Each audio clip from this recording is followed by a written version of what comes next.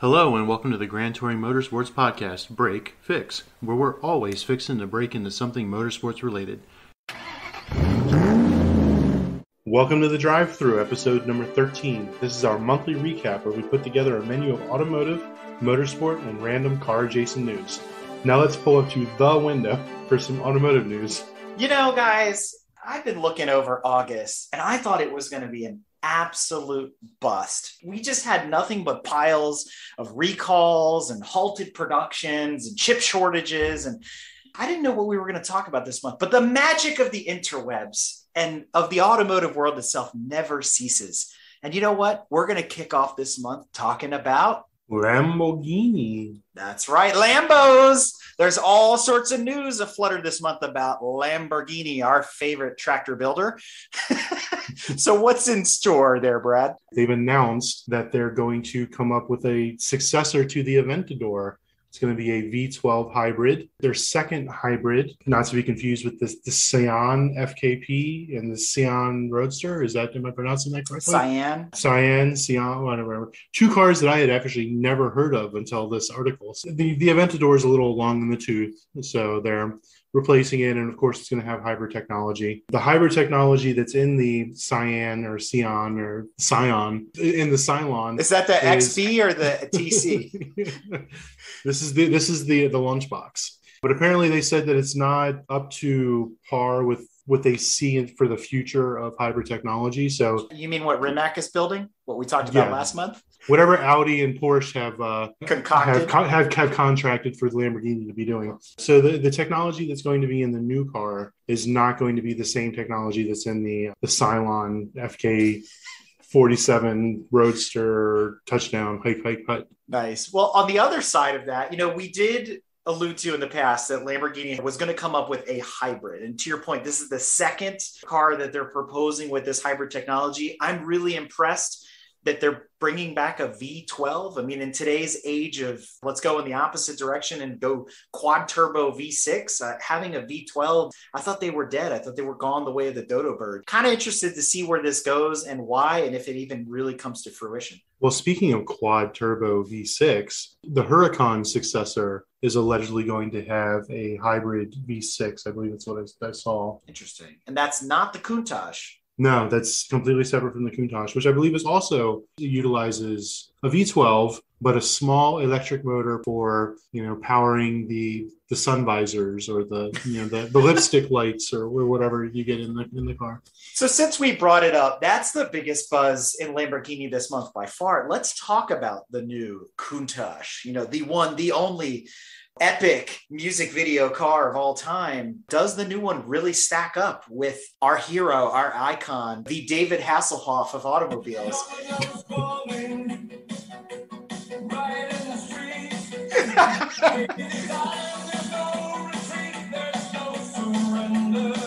I, I, hope no copyright lawyers are listening to this right now. I personally love, love, love, love. I'm looking for a poster of it as we speak. Love the new Countach. I think it's amazing. As a rebadged Aventador, you're absolutely right. I have a few. The front is on point. Yes, I it's agree. Better than the original. I mean, it's okay. I don't like the back. The back reminds me of the Decepticons in the live action Transformers movies. Like the way their mechanical eyeballs are, it looks like a Decepticon staring at you from the back.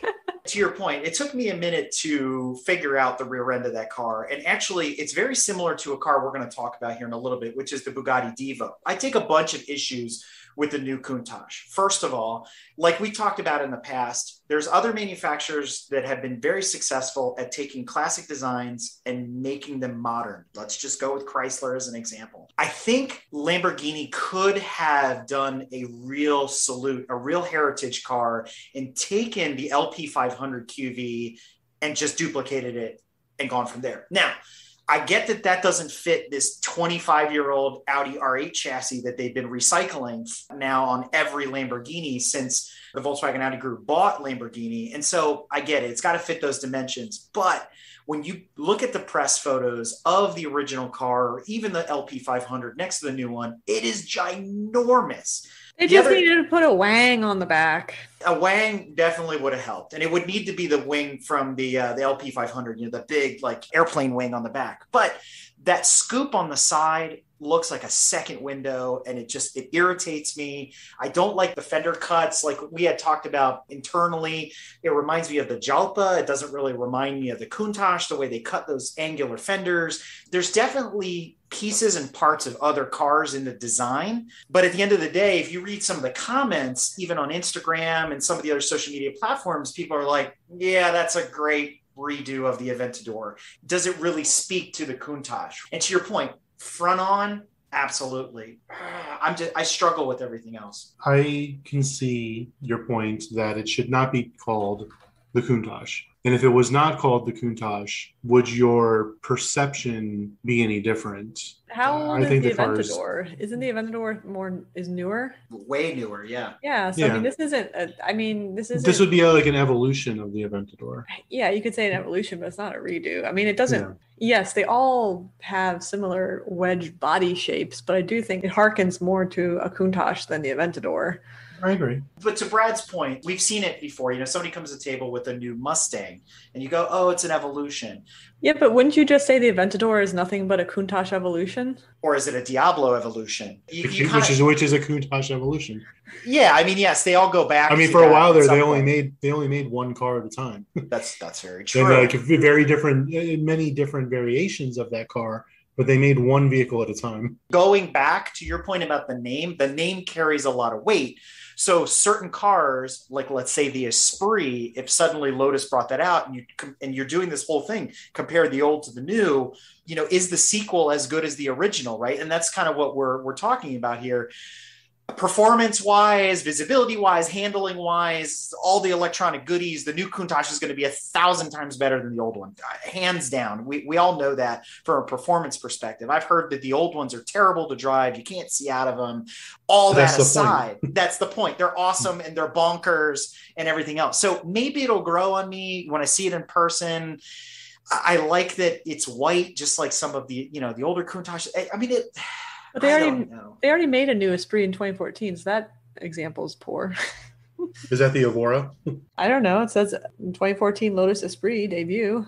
Did that ever come to market though? I think it was just a concept car. I think it was never... a concept car too. Yeah. I think I think that evolved into the Evora. Yeah, I think so too. But I mean, there's other names. If I said Lancia Stratos, you know, I, I don't know. There's a, there's a bunch. I I agree that there are some cars that are iconic. They're of such a level that you're killing yourself if you try to do a redo of them.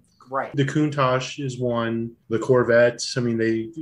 I don't know. I, well, the Countach is definitely one of the, them. But I was thinking like a 959 for um, Porsche you can never have another 959. Porsche is weird because all their names are numbers, or but you can never have an, another F40. The F50 was supposed to be an evolution of that, but I don't know. But, but I think you understand my point. There are some names that are so iconic. They're it almost should be, sacred. We do it in the sports world all the time. You, you see somebody, a player that is so good, they're in the Hall of Fame, their numbers retired. I feel like these names for automobiles should be retired. Exactly. The perfect example of bad naming convention is the Mustang Mach-E.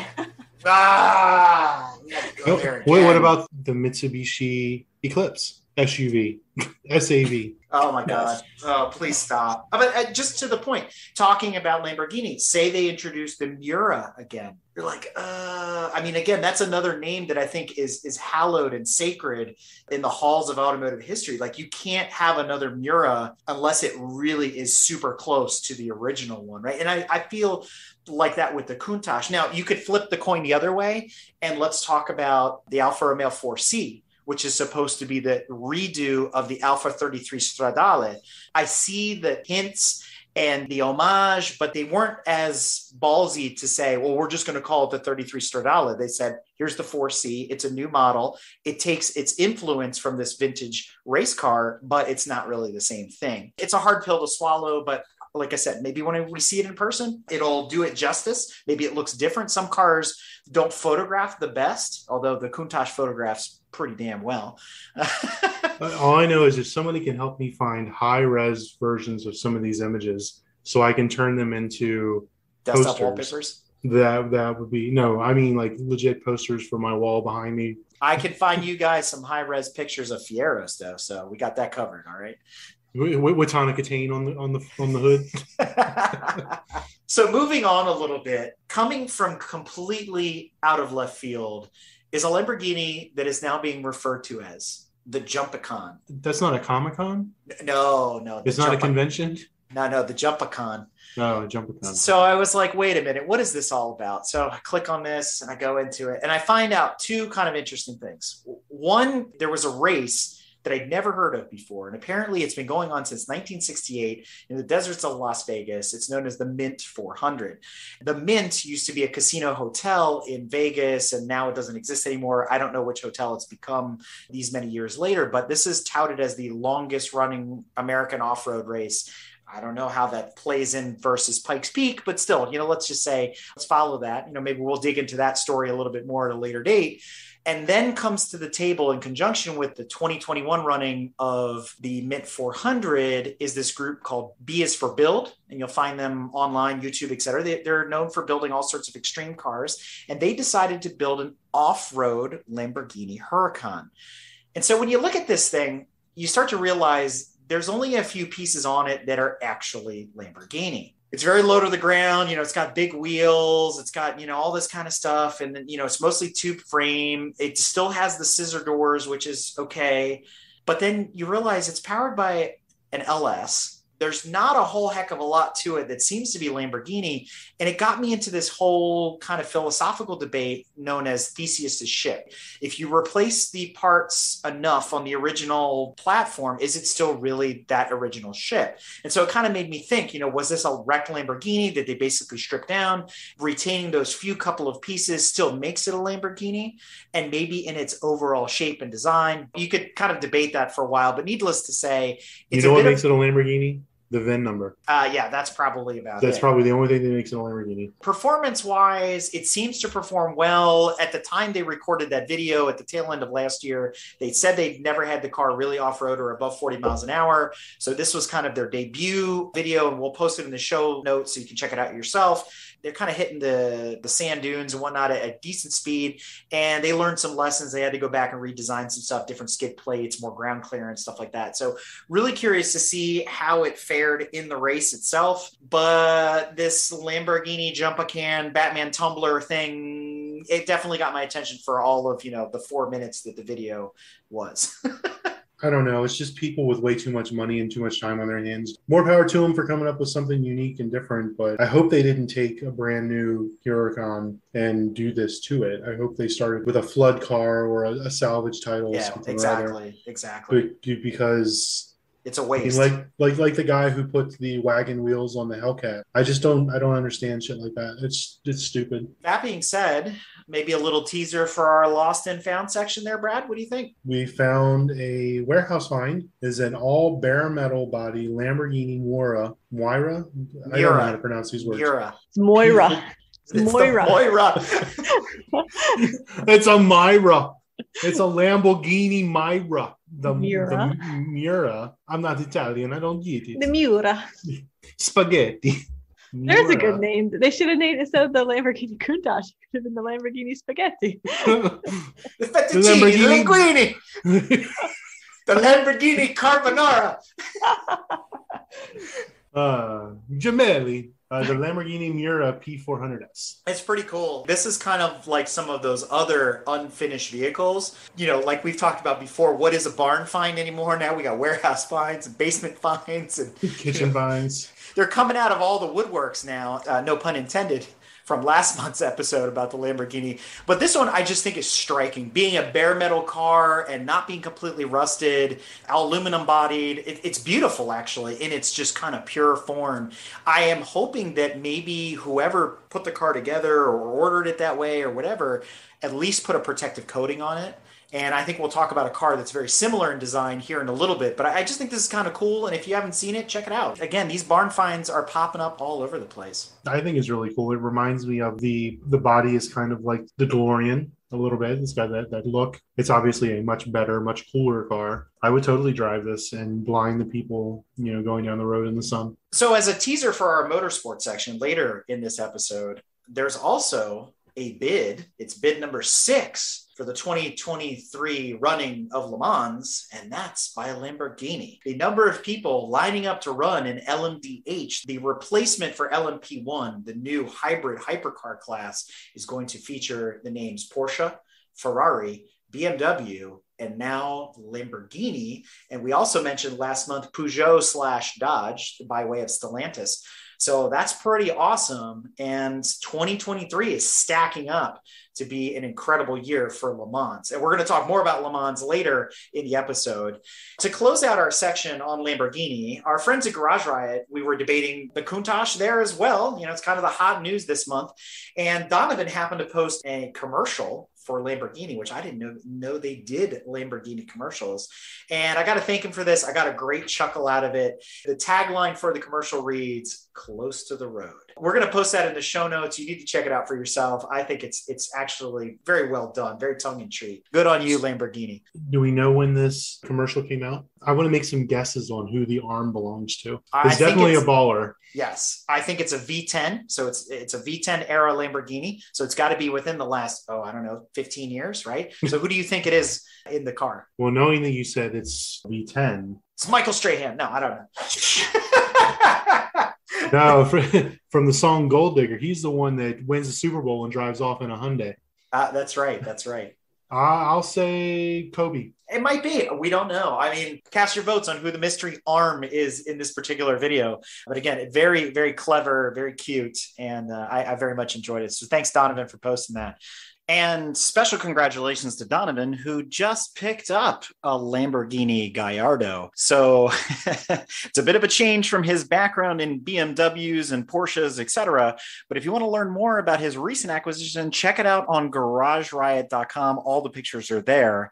And with that bit of Lamborghini news, we round out our showcase this month. Since Lamborghini is, you know, cousin second removed of Volkswagen Audi Group, I think we should probably transition into Volkswagen Audi news like we always do. And I mentioned it a little bit ago the Bugatti Divo. The last Bugatti Divo, a model probably you didn't even know existed, 40 of which were built. The last one has been completed and delivered. That is the end of the production run for the Bugatti Divo. I think it's cool, but also very Lego like. I mean, obviously, you can see the inspiration in it from the Chiron and the Veyron, and even like I was talking about, the rear end of the Countach and things like that it's sad to hear about a car on its way out because I think this would really been really cool to catch in the beginning, like you know something shocking. But there are other cool and unnamed models from Bugatti coming. We've seen some articles floating around, some spy pictures, etc. So I'm really excited to see what comes next. What do you guys think about this Divo now that you're probably hearing about it for the first time? I had no idea it existed. Is this the successor to the Chiron? It is a one-off model. So no, it is not necessarily oh, okay. in that line. But much like the Cyan and some of those cars, it runs in that kind of vein of here, we're going to do a small batch and then move on to something else. So I didn't realize Bugatti was doing 40 car runs. I mean, to tool up for new unique bodywork like this, granted, it's still like a 100 year old R8 chassis underneath. it's still neat to see that they would put something out like this. They could have just called it a Veyron. But you can still buy the Veyron, the what Super Sport now it is, I think at the top of the top line 300 mile an hour monstrosity that they have. All right, so switching gears a little bit and talking about sort of related Porsche news. Singer that makes the most beautiful retro, what I call heritage cars out in California, has pre sold 75 of what they call their DLS model based on the Porsche 964 for a cool $2 million each. And an awkward pregnant pause there as you do the math. That's an influx of $150 million into the company. Not sure when they're going public, but uh, pay attention to that stock IPO for sure. And this quote from the Jalopnik article definitely summarizes how I felt about the consumption of 964s. And it reads Listen, I like an air cooled rear engine driving experience as much as the next guy, but you can't tell me that this car drives $1,979,000 better than my shitty old 912E. Do you have any idea what I could do with $1.97 million? I could build a really freaking cool 911 and still have about $1.9 million left over. That being said, it's also the reason why, and we talked about this when Donovan guest starred on the show, the prices of 964s are going up because the 964, as we know, had the shortest production run of pretty much most 911s. It only lasted about four to five years, and there's not a ton of them out there, especially coupes you know, there, there was a mix of variants in the 964 line, convertibles, there was a speedster, there was, you know, wide bodies, the, the 4S and things like that. So there's all these variations and Singer's just buying them up and turning them into these ducktail classics and short nose cars. And they're beautiful. They're handcrafted, absolutely amazing. They perform really, really well, but it's driven the price of stock 964s through the roof. I've also read that once Singer can't get any more 964s, they're going to move on to 993s. And they actually have already done so. So that means the price of 993s is also going to skyrocket, right? They want to stay with the air cooled 911s, the best of the best.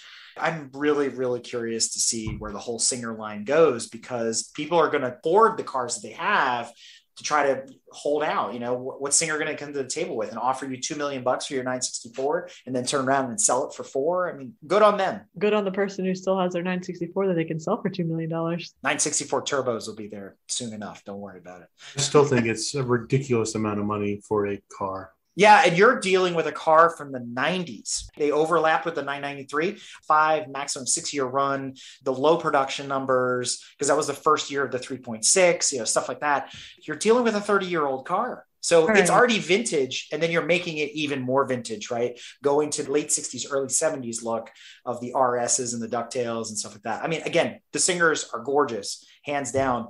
Maybe they'll start doing something else. Like, where's my retro 308 built on top of a Modena 360 or a Ferrari F430? Why don't we do something different than a retro 911? I feel like they're kind of played out, at least in my opinion. I think we forgot to just start this one with rich people doing rich people things. ah, you're probably right. Definitely out of my price range. I think we started the entire episode with rich people doing rich people things with the V12 hybrid Lamborghini and the Countach. Definitely not in the market for that. Yeah. so what else is going on in the VAG world there, Tanya? So Audi is unveiling that I guess they're going to join the Dakar series. We're going back to rally? What? what we're going back what? to rally? Huh? Come again?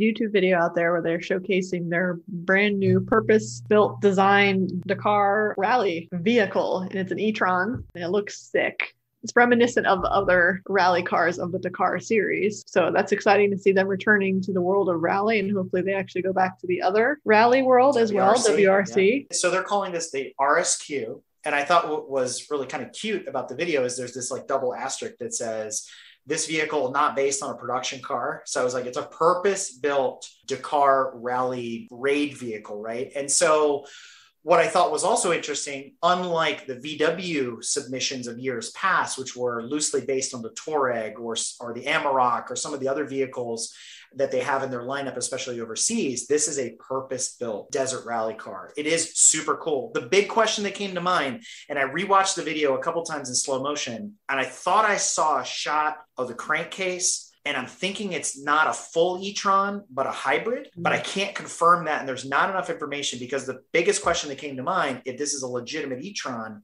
where are they recharging this thing on the Dakar? Because the Dakar rally is what, 1,000, 1,500 miles? It's something ridiculous. I mean, I guess they're going to charge it with their diesel generators. Oops. Those are some pretty long rally stage weights that you have to go through. So you got to charge that thing up. I'm curious to see where it is and what the specs are. If they are going full electric, I'm shocked, and I want to see how that pans out. I don't want to I don't want to say good, bad, or indifferent, but I just want to see how it all works out for them. So best of luck on that. But design wise, super cool, very futuristic. It reminds me of the Via Cross. No, it does not.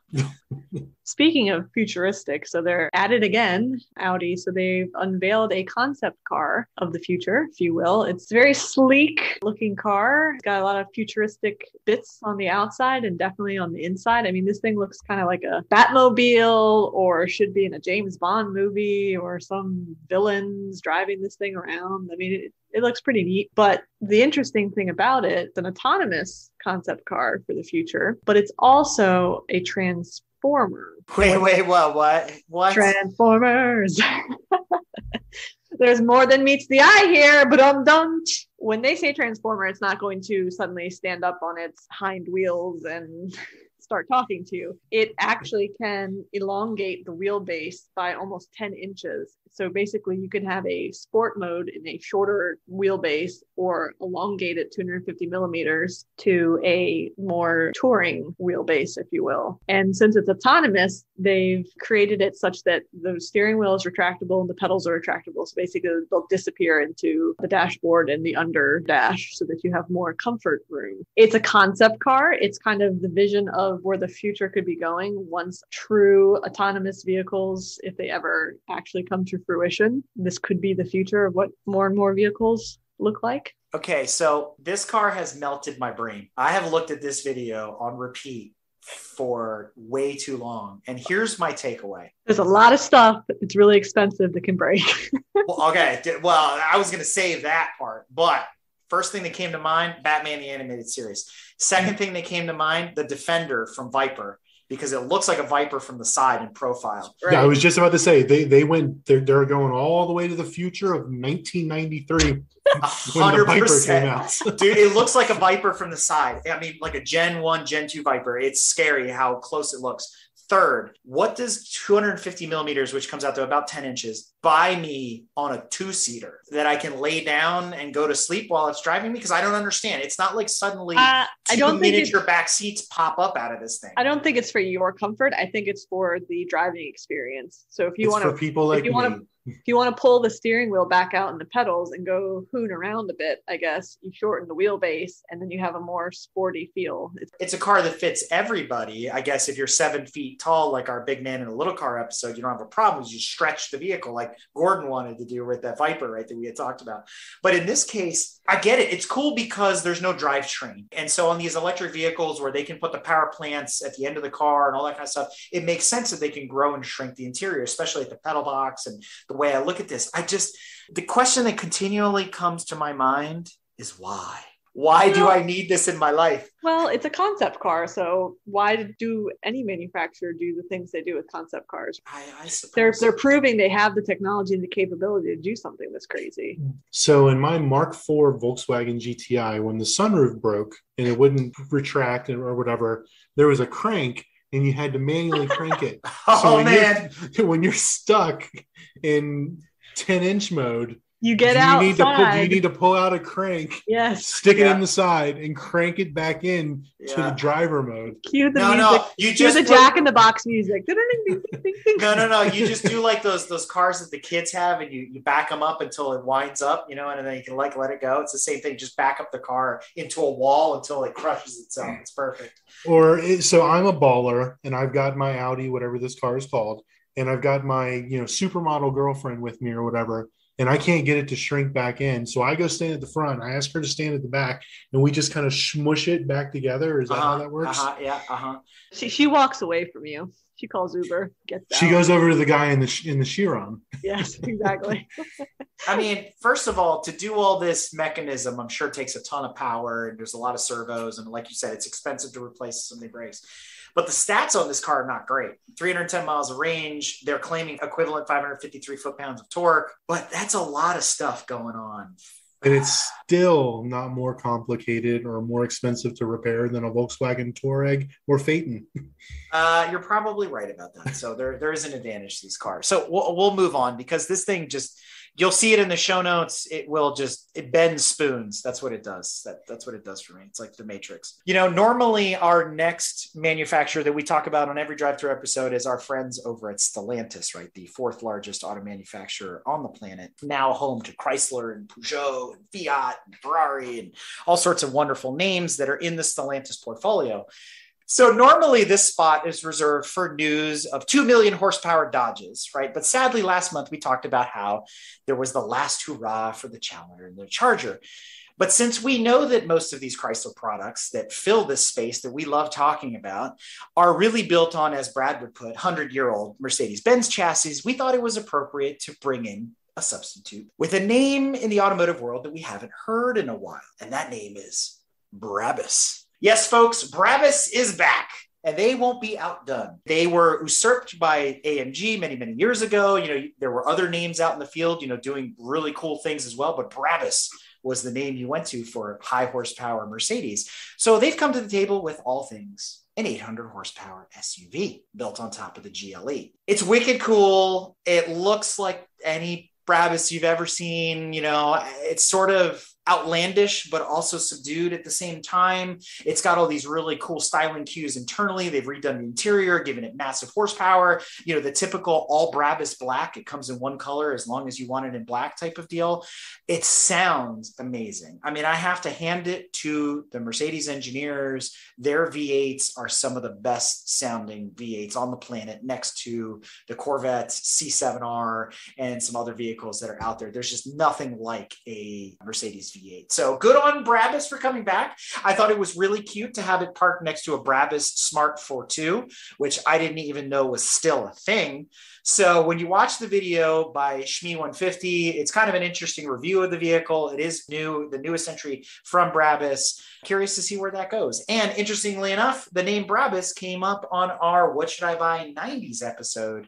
So we were debating whether that was a good pick and a good buy and kind of revisit that old moniker if you're looking to invest into a 90s car. So if you haven't listened to that episode yet, go, definitely check it out. Wait, I have something. Oh, you do? So, the other little bit of Stellantis news we have. So, last month we talked about the guy who was building the Lamborghini in his basement, and there was some wood involved, among other things. And eventually, he had to bust the basement wall down to get the car out. But nonetheless, wood strikes again. And this time, though, it is an entire car made out of wood. No. Yes. So no. oh, yes. It is a scaled down version of a Ferrari GTO 250. So it's not a one to one replica, but it's not the size of a go kart either. So, a gentleman in Vietnam who is a woodworker and he is very talented. He wanted to give his son a Ferrari, so he built him one out of wood. And it has a working electric drivetrain. So it is drivable completely on the road. Not that it's probably street legal, but it does function and does run and it's and he handcrafted it carved it out of wood. Some of the proportions are off. That's okay. Like the windshield is ridiculous. I love the wooden windshield wipers. That does make me laugh. I mean those little details the door handle is exceptionally entertaining. Looks like something you'd see on a bathroom vanity but i got to give you props on this the woodworking is exquisite. The car does look really, really cool. I'm I mean, not sure what a, else to say. He's a woodworker. He had 70 days extra of time on his hands and, and he built one. That is something else, that's for sure. I feel like this could have been done with a Fiero in 200 bucks. I don't There's know a kid they, out there. I don't know if they have the Fiero out in Vietnam. Can we send them out there? Because we don't want them. Yes, please. Like we do with like the campaign T-shirts and the Super Bowl loser shirts we send to third world countries. Let's just send all the Fieros out to those third world countries. Oh man, you know, and that's probably a great segue into talking about domestic news. We separate Stellantis because they're now this global conglomerate with all these different brands underneath, and so the domestics are now really Ford and GM. Toyota aside, and all the other ones that we know are built here in the States, but big bad American companies, Ford and GM. Ford has put out a press release saying they're going to move to build to order. And I'm like, cool. Volvo talked about doing that. BMW's talked about doing that. Porsche does that now, quote unquote, on their website. Doesn't Mini do that? Aren't all Minis built to order? Supposedly. These are supposed to be completely bespoke. Like you're supposed to actually get what you want. And here's uh, where I found the lies, the lies.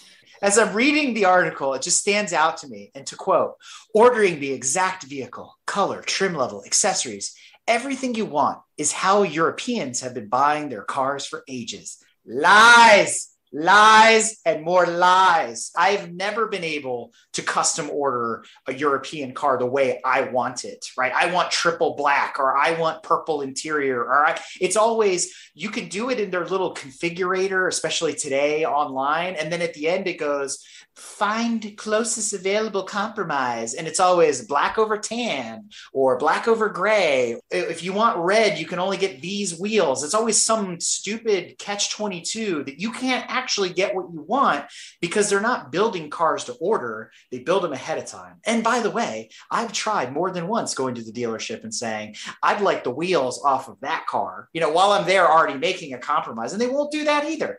Lies. Was their comment, because I didn't read this, was their comment in America, you can buy your European cars built to order, or in Europe, Europeans can buy.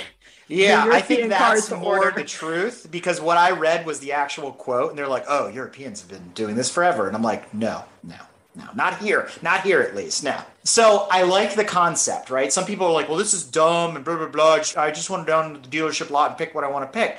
But there are those of us in the community that would prefer to buy a bespoke vehicle. And I'm not saying it needs to be ridiculous, but at least give me the combinations that you offer. If I want a black interior on a black car with black wheels, you know, or whatever, I should be able to get it, not get to the end and it just be this giant tease and I'm left with, nope, there's 13 white ones and a blue one. So this is what you get. I'm like, what? No. I thought we were kind of moving toward that new hotness of, you know, made to order and a la carte and all this stuff. So I would think people would want to be able to have more choices in their interior, hopefully with some limitations that we can't be getting hot pink Pepto Bismol color choices, right? Like here's a palette, choose from it. You can have. I want to be this. able to choose heritage interiors. So I want the Ricardo Montalban Corinthian leather in burgundy. I want I mean, everything burgundy in my car. As long as they can do it fast enough, I think people would be on board with being able to say, like, oh, I really want white leather interior in my Oh, like the old Volkswagen cabrios had forest, stuff like that. But I want a tan dashboard, red carpeting in a forest green exterior. I don't know. Somebody probably wants that combination. Stop talking about the color choices that were in my UR Quattro from the factories. what were they? They had green pile carpet. I don't understand what they were thinking. Like, what is this? Black well, seats and a those, brown dashboard. Like, what is wrong with you? All those cars were kind of slightly bespoke. They were all not by choice though. No, like random combinations of, of interior. It took awful. me the longest time before I realized that my black interior was actually a really dark chocolate brown. oh, so bad. But on the other hand, you know what you can order, but you get all the options and no choices is a $300,000 Ford GT40 replica from South Africa. Well, you know what? If I'm spending three hundred thousand dollars, you darn tootin' better be giving me exactly what I want. So, under license from Gulf to put the Gulf livery on the car, and Superformance, who has made the Superformance Cobras in the past, which were Ford approved replicas of the 427 Cobra, they are now constructing exact replicas of the 1968 1969 Le Mans winning GT40s down to every single nut and bolt. So, if you want a turnkey late 60s race car, get yourself a Superformance GT40 for a cool 300 grand. Would you buy this or a new Countach? The price points will probably be the same. So, in all honesty, I'm going to have to lean towards the Countach only because 1960s replica means 1960s handling. It's not an homage or anything like that. It's a direct copy. And it even has the ability to be homologated into like vintage racing and stuff like that. That's how accurate this copy is.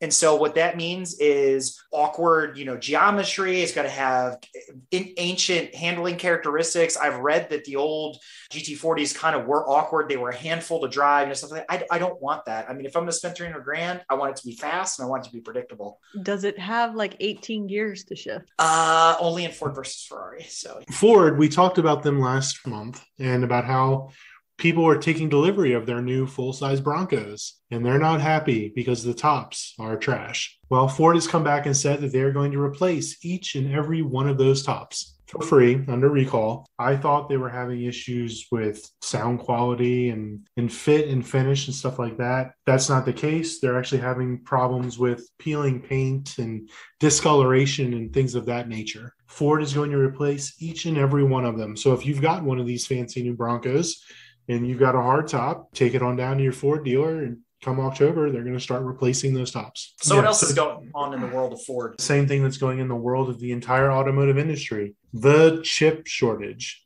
And Ford is obviously no stranger falling victim to this, not only in their trucks. And, you know, we talked a couple months ago or last month about the F 250 sitting on the side of the road and parked in parking lots and everything because they don't have all the parts to finish production and get them out to sale.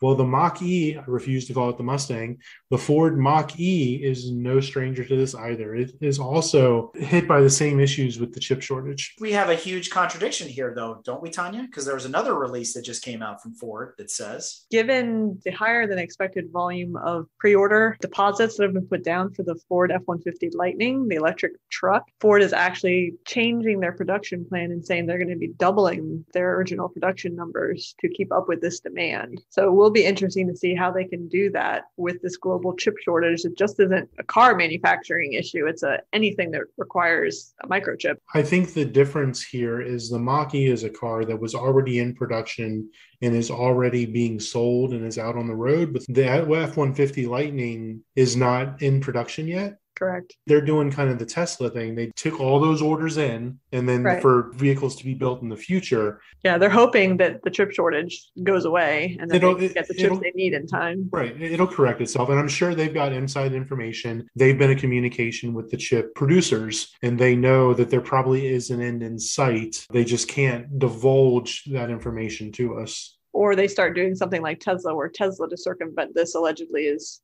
building their own chip. In what capacity that exactly means that they're not having it outsourced, but Lays or Utz, like what kind of uh, chips are they I don't, I don't, why, I don't know. Why don't they just put the new Apple A12 chip or whatever that comes in the phone? Why can't we use those? Because they're made all in the same place. That's the bigger problem. I mean, once places like Intel and Micron and whatever moved their production overseas, they're all at the same, let's say, Foxconn factory, you know, where they're all being produced side by side. So the global chip shortage, you know, also has to do with rare earth metals and all that kind of stuff, and people being able to produce them on the line. So even the new Apple chip. That's why there isn't a new iPhone 13 yet. They're still stuck on whatever they have, the 12s and the 11s. You're starting to see a lot of repops and refurbs and things like that. What I find interesting here in this contradiction on the Mach E versus the Lightning is is the E really selling that well, right? We haven't seen sales numbers yet. So if it's not selling well, it makes sense to halt its production to something like the Ford F 150, which we're going to talk about here in a minute, best selling vehicle in North America the chip shortage is a great scapegoat for yes. low production numbers Correct. and low low sale numbers. Correct. And we saw that with the Camaro. We saw that with other vehicles where it's like it doesn't make sense to keep this going. So let's just blame the chip shortage and we can take this thing off the line. Speculation here. I'm not saying that that's what the case is, but Brad, you're a numbers guy on paper. I mean, just the, the most sense just a quick look, apparently, without doing too much research, it does look like Mach E sales are continuing to grow month on month. Where I don't know because I don't see them on the road. It's like finding hen's teeth. You can count them on the fingers of one. The hand. numbers are small, I think, in terms of production quantity. So it's not like they're sold 20,000. They sold apparently in June, I think it was like 2,500 barely. Oh, wow. This is a good little tidbit because I have actually seen a couple Mach-E's on the road. I've seen more unique Porsche Taycans than I have Mach-E's. And that's a car that's what, five times the cost of a Mach-E? Probably has five times the amount of chips in it too. You know, I love those marketing numbers. I mean, I see it all the time, even in my line of work, where it's like, 100% growth year over year. Yeah, you're right. Last year you sold one and this year you sold two. So there you go. To your point, Tanya, if we don't know what the sales numbers are, yes, the E is continuing to grow, but at what rate, right? We're not seeing 200,000 produced. It's not like the Mustang when it was introduced. Let's talk about the Mustang in the Iacocca era where it outsold anything. It's still the fastest selling car like ever during its first production year. So they're not going to see that on the Mach-E, but to the point of the real sales numbers, the F-150 still holds the crown right now of the best-selling car in North America. That's the US and Canada combined. And based on some numbers that we've recently seen, which we'll talk about here in a minute, but go where the money is. If you're well, and I thought something. we talked about that last month too, as part of the slowdown on some of the production was they were diverting where the microchips were going. So they could be slowing down production because they know if they're seeing those pre-orders being so much higher than what the Mach-E's were, and Ford F-150 being the all-time greatest best-selling vehicle in the history of the galaxy in North America, past, present, future, then I mean it behooves them to make sure that they can fulfill those orders. Absolutely. And I'm sure you'll probably see things being peeled back or slowing on other vehicles as well. I mean, granted, the big two, we won't call them the big three anymore, the big two have been peeling back their model proliferation for a while, right? I mean, the Fusion's gone. A lot of the passenger vehicles, you know, even on the Chevy side have disappeared. I had the unfortunate experience of driving a brand new Malibu the other day. They should stop making that car. I'm sorry if you own one. Uh, keep the Impala. No, get rid of that trash too. you know, since we are talking a little bit about GM, let's step into that for a moment. The Chevy Bolt, there's been several recalls that have happened around the Chevy Bolt in fires. There's been a third recall, which essentially encompasses that every single Chevy Bolt globally has been recalled. All three of them. I think they sold more than three, surprisingly. I have to look at the numbers. They've sold, I think, like a couple hundred thousand or something. So I don't know Shocking. that I don't know that the highest numbers were necessarily in in the US. Nonetheless, this is a I think a billion plus fix for Chevy, and the fix is replacing all the batteries in every oh, single God. car, which is. Don't you just turn a bolt over and take out the two double A's and put two more in? And the problem is, you know, with these electric cars, we're blaming, oh, there's another piece of crap Chevy catches fire. Well, problem is Chevy didn't invent the battery. Yeah. Chevy didn't make the battery, unlike sometimes Tesla claims to make all that stuff, right? This is why people get on their case because it's like, well, if you're making everything, then it's your fault, right? So LG Chem, South Korean battery manufacturer, the ones that are supplying all the batteries for the Chevy Bolts, along with a bunch of other car manufacturers' batteries. Apparently, there's an issue in their manufacturing at not one but multiple of their plants. And so there's some sort of instability. Obviously they can't divulge exactly what their battery chemistry is but the lithium batteries are already known to be somewhat dangerous. And you know there's a lot of cobalt usually that goes into the batteries because it stabilizes the reactions. However there's issues with you know how much cobalt's available and that the cobalt comes from the congo region and there's human rights issues etc so a lot of folks have been trying to dial back cobalt mining and, and whatnot on. So if you take the cobalt out, you got to replace it with something else. And they're replacing it with nickel. It sounds like maybe that chemistry isn't quite maybe as stable as it needs to be. And it's leading to battery fires possibly. Ooh. So Chevy is trying to go after LG because they're making the batteries and the batteries are catching fire. We'll see what comes out of that if they can maybe recoup some of their money. But that's a big problem if LG Chem is making all these batteries. They're supposed to be, I believe, supplying the ID, Volkswagen ID batteries for those cars. I'm sure more is going to come out of this if there truly is some sort of manufacturing issue with the yeah design. so this becomes like a takata problem where everybody's getting their airbags from the same place so yeah I, I see where you're going with this and you know it's going to be tough. Maybe Chevy can harvest semiconductors from all these bolts and give everybody an Impala instead, and they can go back I mean, it's it's it's a growing pain also because yes. this is new frontier, all these batteries, and you know, I like the one statement in the article. If it was easy to make a battery, everybody would be doing it. I mean, Duracell and Energizer have been doing it forever. Come on now. Yes, well, I think it's a lot different to power your flashlight. versus you know your car to go zero to 60 in an unnecessary 1.2 seconds right? Uh, very groceries. True. Very true. or lengthen or shrinking you know accordion the car right? Yeah. lengthen and shorten it. Yeah. we're, a- we're asking a lot of batteries today that is not historically how we've used them right? How, how many duracells would it take to power a bolt?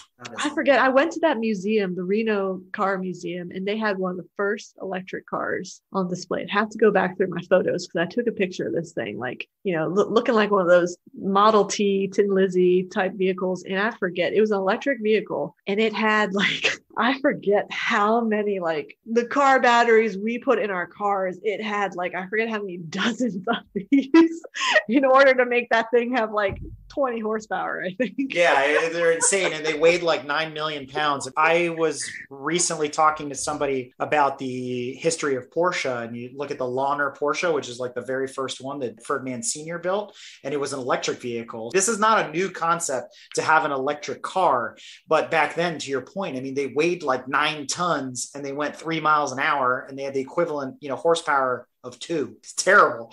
Uh, but we've been playing with this science experiment for a very long time. And, and I hate to say, and I know I'm going to get chastised for this, it's hard to beat petrol. It is consistent, if nothing else. It has been well, consistent for 100 years. I mean, we've also had that many more years to, to develop it, it yes. yeah. and do economies of scale and, and make it cleaner and et cetera, et cetera. So this is the problem of being in the middle of innovation. Yes. Everybody is going to bitch and moan and point fingers and it's huge growing pains for research and development to still be going on, but then at the same time trying to actually put it in the hands of the consumer. Right. It's all fun and games until somebody's battery blows up. All fun and games till your house burns down yep. because of your car. Yeah, right. Exactly. One last bit of domestic news. What do we got? So there's always the raging debates that go on like, is there a car that's faster than a Tesla in a drag race, you know, blah, blah, blah. Can anything beat it? And there's been tons of videos, right? Ferraris going up against Teslas and Veyrons and Porsches and blah, blah, blah. And I haven't fully kept track of all this, but I believe finally, finally, ladies and gentle listeners, there has been a car that has beaten a Model S Plaid in a rolling drag race. Can I guess? I think it was a, a 2016 Dodge Dart. Mm. Oh, that's brutal. That's savage right there. no, it was a HHR SS. I was about was to say Cobalt SS. I was about to say what it also was not. all those things. or any all derivative thereof. no front wheel drive cars were harmed in the beating of this Tesla. Neither was it a Malibu or an Impala or any other flaming turd. No, in order to beat a Model S plaid version, all you need is America. Shelby GT500 modified to 1100 horsepower. Yeah! Hell yeah! Yeah! And that is not factory. That is not legitimate. And that is not fair.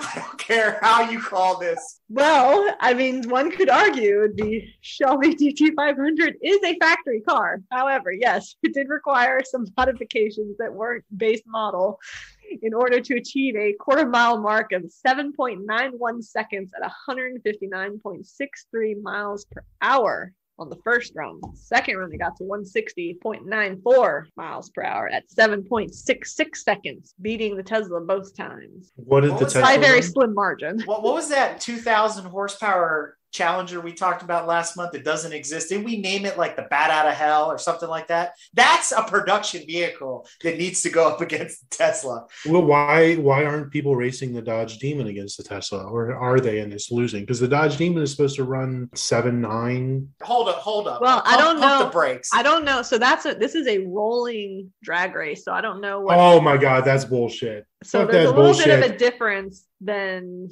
stopping off the line with all wheel drive and everything that's else. Trash. Yeah, that's junk. And that's what I'm saying. Pump the brakes because even the demon, I've read that to get to that seven second number, the, oh, you got to do all kinds of shit to it. Yeah, you they got to strip gotta... the car down. It's only got like one seat in it, no carpet. It's not really the car you buy off the factory floor to get to that number. No, no, it, it is. They, they just need to do a couple little things. You can actually buy it without the seat. You pay a dollar for the additional seat and the extra wheels and all that other bullshit. Ah, it's a package, and you're built to order Dodge Demon. I'm waiting I mean, for the bat out of hell. There's it's an coming. advantage of electric over petrol in this it's situation. Hot. I mean, you get one run, but that one runs really fast. well, because it puts down all the power immediately. Yeah. You don't yeah. have to build up to it. It's yeah. just it just discharge. Here's I the mean, amount of voltage. It's, it's almost not even really a fair comparison to even be doing. Like no, it's like let's take a 747 and drag race it against an F-18 fighter jet. I mean, come on. I mean, it's whatever. I mean, we're always going to do it. Hell yeah. I mean, so let's talk about our newest section that isn't really new anymore because we found it and it was lost. It's our historical and lost and found section. Before we hop into this first article, I just want to do my little cars.com search and tell you all what I found. Oh, man. Here so we go. You can buy a brand new with three miles on the odometer 1991 Honda Accord EX in white. in white. Oh, oh, man. With a 2.2 liter four cylinder, 16 valve, single overhead cam. How much is it going for? I missed that. $33,000. No! what? It's at you, Sam Linder Honda in California. You're shitting me. Nope. Sam Linder out of his mind Honda in California. yeah. That is insane. 33 grand for a 30 year old car. But but not but, even a good 30 year old car. At least it was something somebody wanted, not a freaking Accord EX. But it's it's white. well, did they really make any other exciting color? it's, it's it's not silver. yeah to quote Hazmat, that white makes it rare. It's rare. well, considering there was a lot of, you're right, there were a lot of those brown, gold, champagne ones. Ugh, barf. I'm throwing up in the back of my throat just thinking about it. The, the next car after that is a 2000 Dodge Ram 2500 with 10 miles on the odometer. Its exterior color is metallic, that's all it says, and it's $55,555.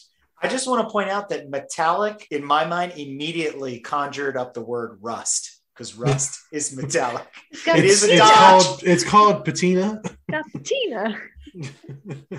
My brand new patina truck. I mean, for fifty-five grand, just hold out for the F one fifty Lightning, people. yeah, right. Nobody wants a, a Dodge from two thousand, please, unless it's a Cummins, maybe. Well, no, it's fifty five thousand five fifty five because Facebook Marketplace wouldn't let them put in the correct price. the real price is one, two, three, four, like all Facebook Marketplace ads. Oh, terrible. Speaking but of moving, which, the Passat is still for sale. Facebook people, somebody buy this damn thing. I need it to go away. it is lost. Somebody find it. it's gonna find its way to a wrecker. Oh, no, God. it's a good running car. Yeah, speaking of Volkswagens, there was a brand new 2001 GTI for sale for auction. I believe it was Germany. England. It was, it was in, in, the UK. Yeah, it's a silver 25th anniversary edition, which they did not bring the 25th anniversary edition over to the US. Came over a year later as the 337, but it's got the BBS wheels, the special interior, you know, all that good stuff. It sold a brand new car for 38,000 pounds, 38,250. So translates to 52,494. I remember there being the 25th anniversary GTI in this country because it came in the three colors. It came in black, it came in that bumblebee yellow, and it came in that candy blue. And they ah. said it was the 25th ah. anniversary, or were they just saying that and it was really ah. 337? They were sold here as the 20 AE, the 20th that's right. anniversary. Oh, cars. that's right because you have to remember the GTI came in Europe right. earlier than it did here. Here it came out in 1983. That's the date we set at. So 20 years from there, 2003, 2004. You're right, You're right, You're right. Right. Yeah, 52 grand for a Mark 4 VW, especially a 150 horse motor. Yeah, no thank you. But I found something interesting this month. You know, you've heard of the the Flying Spur, which is a Bentley. It's a Volkswagen product. We'll call it what it is. It's it's an A8 somewhere underneath there. A gentleman decided that having a what is considered a rare Bentley to begin with wasn't rare enough. He wanted to turn it into a Ute. That's right, folks. He contracted with a builder to his specifications to develop a Bentley Flying Spur pickup truck and it um, looks like every other Mark IV Volkswagen pickup truck conversion that you'd imagine. Who gave Daniel access to a flying spur? In all honesty, the build quality is really good. I love the teak wood finish and all that. But again, it conjures up my quintessential question of why? Why didn't they just buy a Chevy SSR? Uh, I don't know. That's exactly what, what it looks like. It's terrible. It's absolutely terrible. Granted, Bentley doesn't make a Ute. They don't make a pickup. They make the Bentayga, whatever that is, Touareg. they should have done this to a Bentayga. That would have looked also terrible. I mean, I just don't get would this. I mean, better.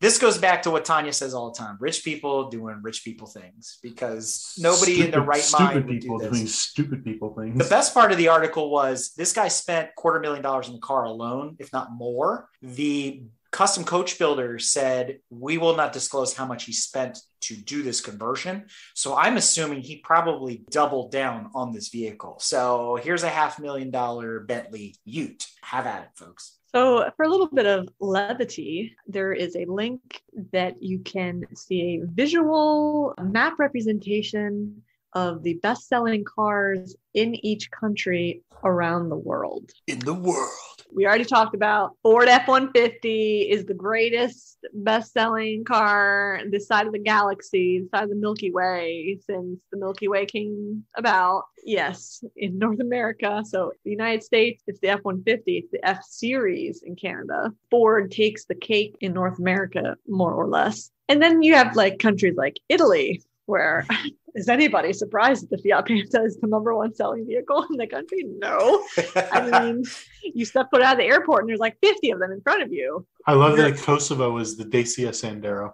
You know, Germany is the Volkswagen Golf. I'm not really too shocked by that one either, but I think there are some interesting yes. Uh, thing ones in there. Like, actually, I didn't know that the Irish were into the Toyota Corolla, but cool for them. Another, I think, fun fact is which is the best selling car in the most number of countries? I was going to bring that up. It's the Hilux beats everything. When you look at it, it's in the worst places on the planet. like Australia's the outback and Africa, South America, everywhere where the roads suck, you find a Hilux like 100%. It's everywhere. And then if it isn't a Hilux, it was like Toyota Land Cruiser and like other stuff just like it. I'm like, yes. Yeah. So F one fifty might be king on our shores, but around the world, the Hilux. Because we don't but get in six in sixteen countries, the Toyota Hilux is the number one vehicle. And you know what? If it was available here, I'd buy one too because I think they're freaking awesome. It is. It's called the Toyota Tacoma. It's just called the Toyota pickup in North America. No, it's not as good. The Hilux is better and it comes in a diesel. But I did see recently there are folks importing right hand drive Hiluxes from overseas. And there was one at Summit Point at Summer Bash. I thought it was super cool. It took me completely by surprise because I'm like, what is this navy blue thing that looks sort of like an 80s 4Runner? And then I hear it, it's diesel and the guy's on the wrong side of the car. And I went, oh, that's the car from Top Gear. It's super cool. And I got to talk to him for just a minute. And, you know, they're now coming in gray market like a lot of other cars from overseas. And I think that's super neat. I don't know why Toyota just doesn't sell the Hilux here in Hilux trim the way we all have seen it on television, the way we would want to. To your point, I think another car that got my attention and it was surprising to see in places that I didn't expect was the Renault Clio kind of popping up here and there. And I also thought it was interesting that more Skodas, which are a derivative of VAG, they're just rebadged, are showing up more in Europe than the Volkswagens themselves. Kind of interesting. Do we want to address that there are six countries where the a Dacia of some sort is the number one selling car? I want to address that the Tesla, any Tesla at all, has made this list. The Model 3 in the Netherlands and Norway. The I mean, Norwegians I, are pretty electric. Yeah, but why a Tesla? Who knew they because so because Tesla basically that who who else was there? So yeah, there's other electric cars out there. I also want to point out with the Dacia. Did we know that there are five different Dacia models? Stop melting Sandero, my brain. The Sandero and then the Sandero adjacent. So there's the Sandero, which takes the two Logan, two countries. There's the Duster, the Logan, the Dokker, the oh, Plymouth Logan Duster? twice, so there's four different ones. Three more than I knew about. That's three more than there should be. I love how that Saudi Arabia loves the Hyundai accent. Awesome Kazakhstan buys Camrys. I think that's like the funniest thing on this map, hands down. craziness. But anyway, I think when you guys dive into this, it'll be in our show notes. It's actually very interesting to see the highest uh, selling numbers of cars around the world. It's pretty shocking and very revealing too. So pretty surprise, cool. surprise. The Russian leader is a Lada. I mean, how arrogant are the Russians and the Americans that their number one selling vehicle is their trash? Well, I mean, they're not allowed to import anything. And the Fiat Panda. And, and well, I mean, Italy and Germany and, and yeah. uh, Spain. I, it makes so, sense, yeah. You know, and and yeah, so.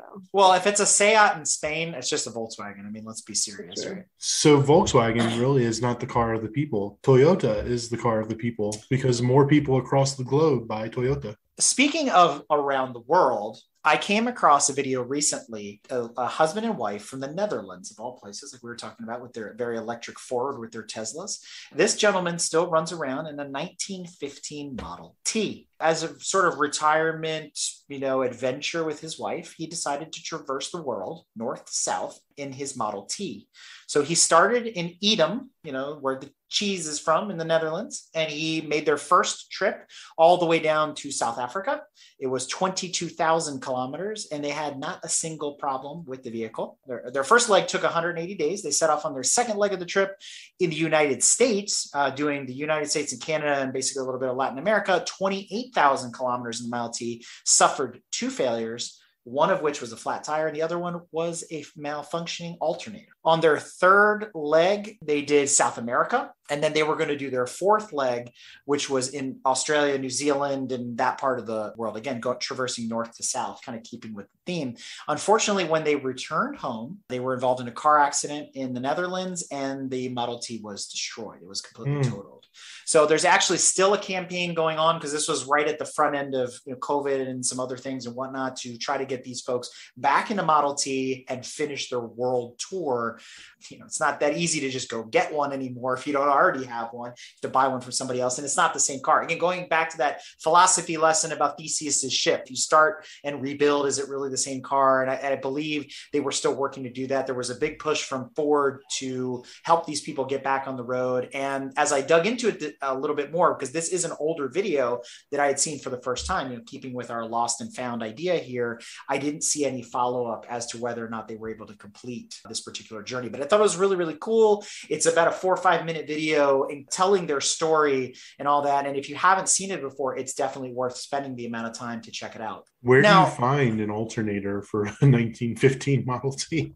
You know, that is a question I just can't answer. But you know what I can answer? Top 20 highest selling cars at auction.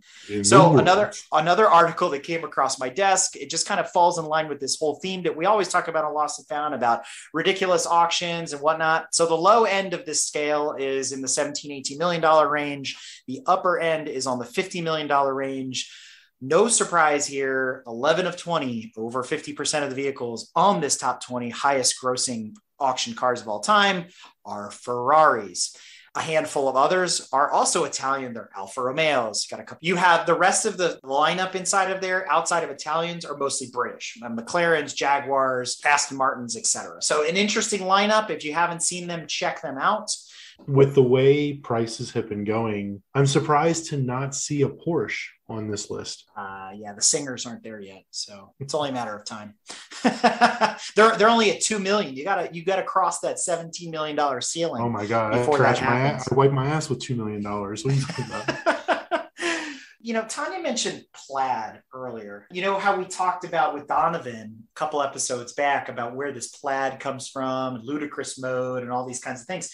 It comes from the movie Spaceballs, right? But plaid is not an uncommon thing in the automotive world, and it actually was started at Volkswagen. Yes, there's a article on the Volkswagen newsroom that goes into this in more detail, but essentially there was a female designer in Germany back in the day back in the 60s. She joined as a young lady. She'd formerly been a painter and chocolatier candy box designer. So she had an artistic background, knew how to put colors together, things like that. They hired her in their fabrics and colors department in Wolfsburg.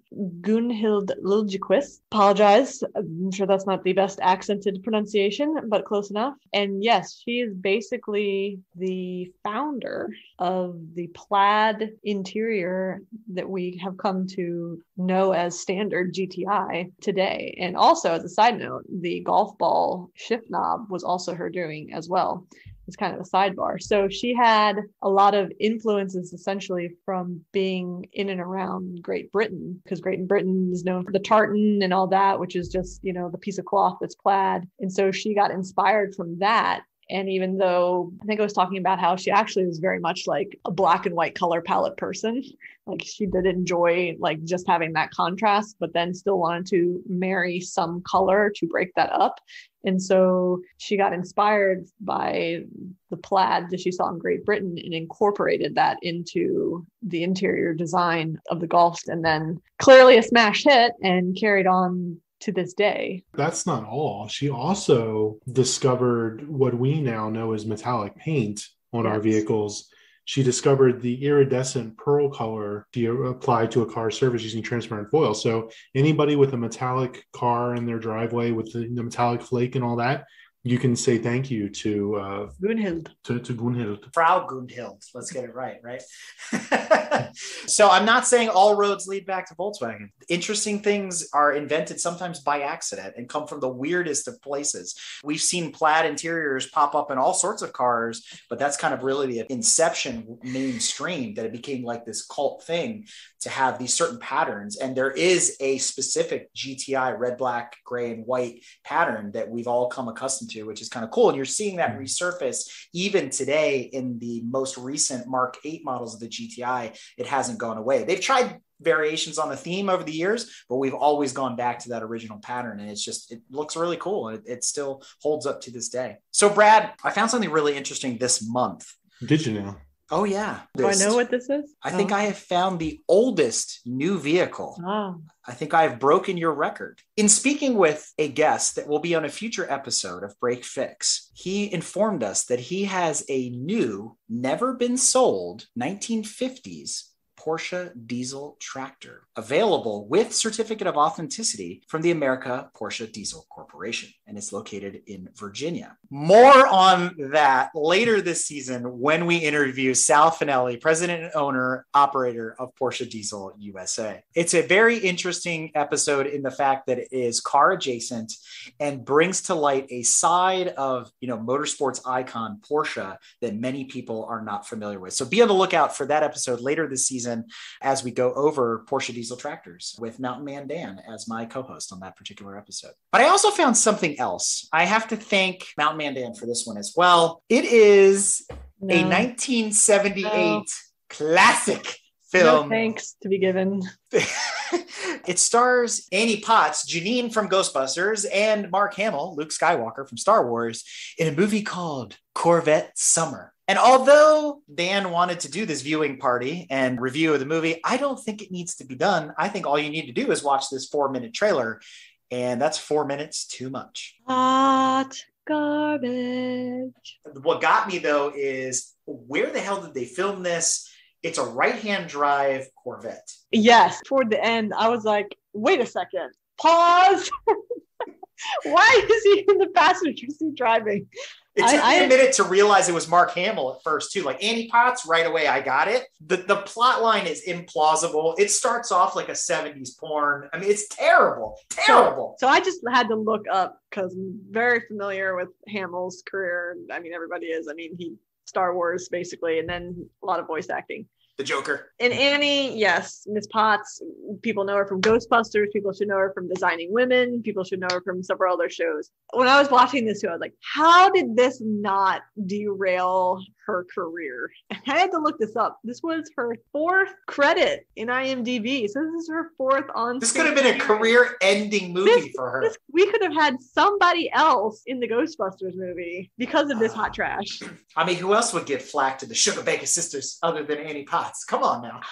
I don't know. Dr. Venkman, Dr. Venkman, you got to call. God, I love those movies. That is must see TV. Dumpster fire. Yeah, must I, see it go into the garbage can. I that mean, I guess I guess Mark Hamill's lucky that his career wasn't sidelined. Yeah, he's lucky he didn't. He, he's lucky he got to be Luke Skywalker again after this. I would. I gotta look it up and see where did this fall in his. We're gonna call up our friends at Take Two and everything I learned from movies.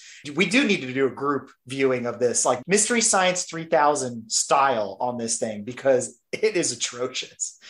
Check out the YouTube clip where we show the teaser for this. I mean, it is all the glitter and glam that you would expect from any 1978 movie. It is time for us to move on to random EVs and concepts. And famous name in the motorsports world, Dennis Palatov, has come up with a new radical battery idea for cars he's famous for designing some very sleek and aerodynamic concepts and some very lightweight cars, kind of on the nose of the ideology of Lotus, add lightness, then power, those types of things. And now he's saying, you know, for the EV world, same idea, highly streamlined vehicle, super light, all this kind of thing granted he's designing around you know tube frame two seater almost roadster type cars but what he's also saying is look folks you're running around doing 40 miles a day in a car that has 400 miles of range and then you're doing all these you know recharging exercises. And he does specifically call out tesla a couple times in the article and he says why not put in batteries that only provide you with what you need? This way we could distribute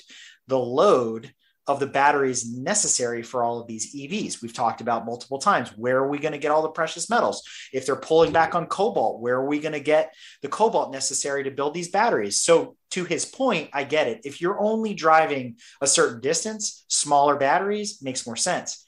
However, if you want to go anywhere further than your normal commute, this doesn't work. I'm kind of torn on what he's proposing. It doesn't not make sense, but on the same token, meh, whatever. I thought at first, you know, with the clickbait headline, he was going to introduce some new revolutionary battery technology. Just wasn't the case. The, the similar concept to the, the naysayers that say you don't need a 700 horsepower Dodge Hellcat. Yes. You just need a car that can get you from point A to point B going the speed limit. My response to that is, fuck you. Yeah, I do.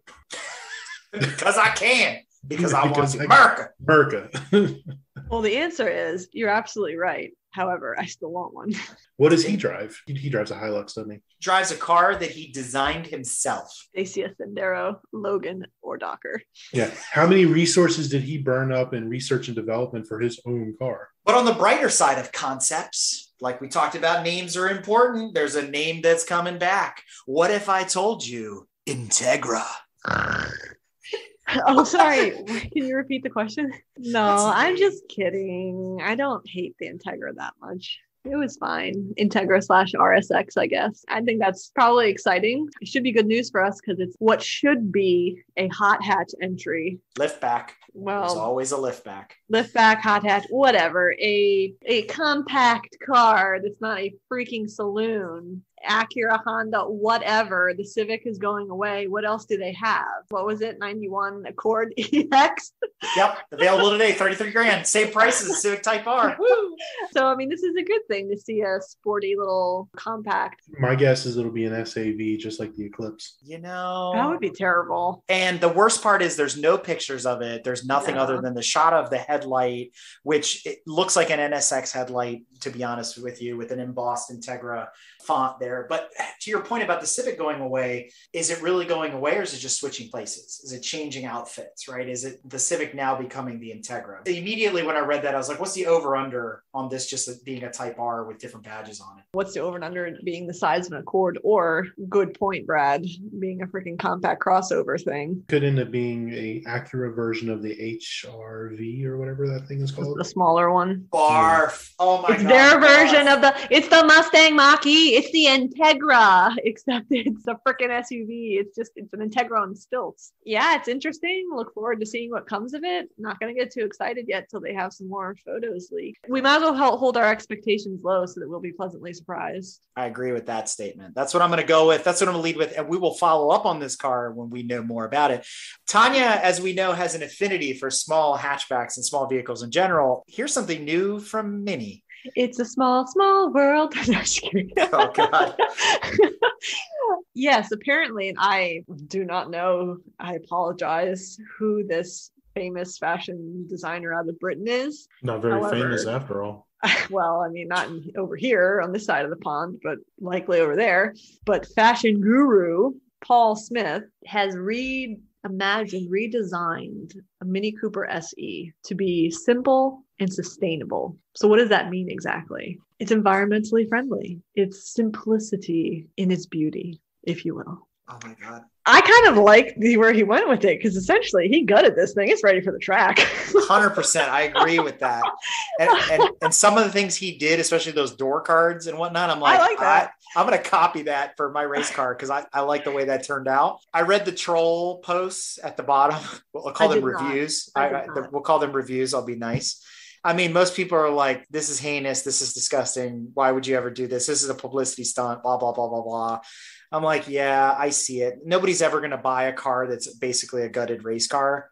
No, and I don't think this is. I'm not sure this is supposed to be out for production. I feel like this is just kind of a one-off. Like, oh, I did this. Oh, we can be sustainable. We can be more green with our cars. But no, absolutely. I was trying to like read through and be like, all right, so you strip like everything out. Did you leave the sound deadening? Because no one is going to drive one of these on the road when you have none of the sound deadening in the carpet because people already don't like sporty suspension because it's too yeah. So this would be heinous to drive on. Yeah, everything is like what's left of the door cards is made out of cork and the dashboard is like made out of cork and also partially clear. Essentially, he stripped out anything that he deemed was not necessary. So, not really adding value or function. Strip that out of the car. Like, I'm not opposed to the steering wheel kind of harkening back to the day when the steering wheel was a steering wheel. Like, he stripped out all the buttons and all that stuff. I'm not on board that we wrapped it in, in tennis racket handle wrap.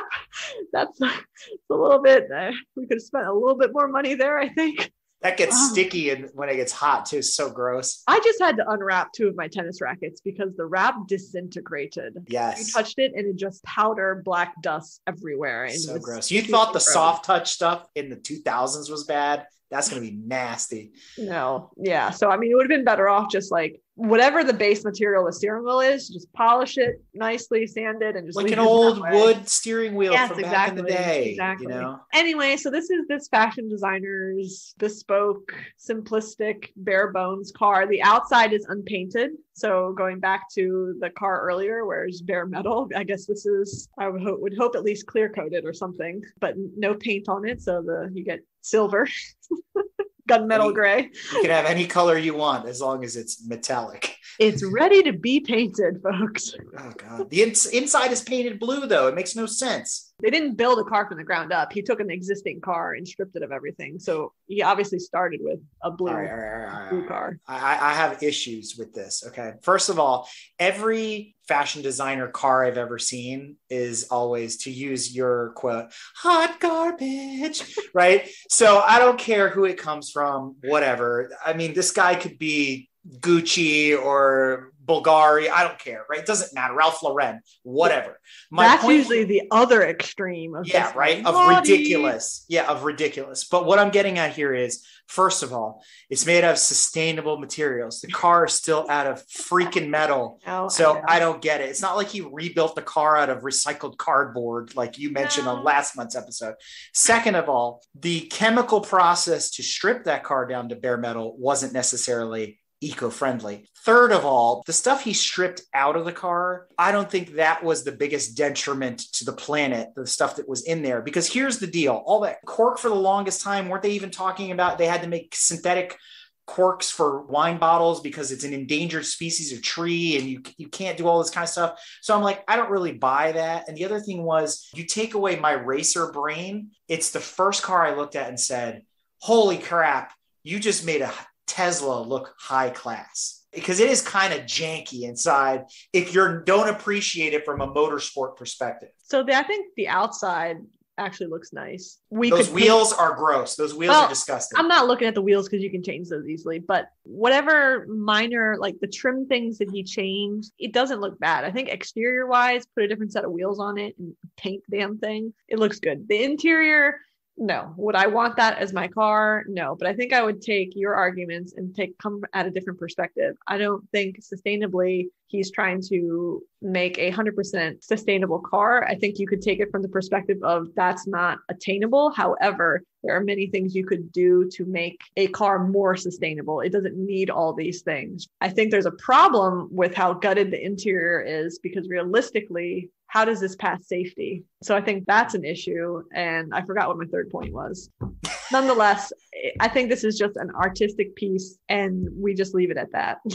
it's more of a get people thinking that there may be more simplistic things you can do that are a little more sustainable. But I don't think at the end of the day, you're like, what's sustainable? Making the whole damn thing out of wood? No, that's not sustainable either. Because now we're that guy Vietnam did. I mean, come on now well he did it but now but now the argument is well you're chopping down trees right so what's so sustainable? I go, I go, I go back horse. yeah well not even that really but i go back and forth on that because some of the things i thought were really cool again from a racer perspective he replaced the glass with a new kind of lexan right i forget what he called it uh perplex perplex yeah which i thought was really cool super lightweight but plastic made from petroleum glass is made from sand yeah. Well, I don't know how they made the glass, but for instance, he replaced the floor mats that he did put back in were apparently from recycled plastic. Okay, that's a sustainable thing to do. We're burning through plastic like it's nobody's business, whether it's plastic bottles, food packaging, et cetera, et cetera. So if they're able to take that or even tires and recycle the rubber and turn them into floor mats, I mean, that's a positive thing. So there are aspects of, hey, we can be more sustainable and friendly in our design. We don't have to start from scratch every time with petroleum products to make every component in the vehicle. The one thing that was missing from this as we kind of finalized this thought stood out to me as I read the whole article not one time did they mention how much weight he saved out of the car. I mean, I would imagine it has to be a lot. I'd be curious, but they wouldn't. They didn't weigh it, so it's kind of like I, I don't know what the point of it of any of it was, other than like the guy did it. I'm surprised we generated this much conversation on it, but good talk. It's exactly. Moving on, we'd be remiss if we didn't move on. It's time to talk about Tesla. Oh God, here we go. so there's three points to hit here and i think it ties back to some things we were already talking about earlier around supply chain issues microchip delays things of that nature. So the tesla semi truck was it just me or did that thing drop off the face of the earth? Because that that thing was coming like i thought five years ago already. It was hot and heavy and orders were made and we were going to make so many of them in crickets which is let me offend some people kind of par for the tesla course right? Because every time like we're announcing something it's, it's always like six years later that it actually comes to fruition. Whatever. But you know that boy who cried wolf gets a little old after a while. So the tesla truck is once again delayed and it's very unclear as to what the delay is, but it sounds like it is essentially supply chain issues and refocusing, kind of what we were talking about earlier with, Ford, is they're refocusing their energy and the supplies that they do have, the semi and the Cybertruck, as they both are delayed. They, they do kind of talk a little bit about we believe we remain on track to build our first Model Y vehicles in Berlin and Austin in 2021. Well, 2021 is almost over, folks. The pace of the respective production ramps will be influenced by the successful introduction of many new product and manufacturing technologies, ongoing supply chain related challenges, and regional permitting. To better focus on these factories and due to the limited availability of battery cells and global supply chain challenges, we have shifted the launch of the semi truck program to 2022. We are also making progress on the industrialization of Cybertruck which is currently planned for Austin production subsequent to Model Y.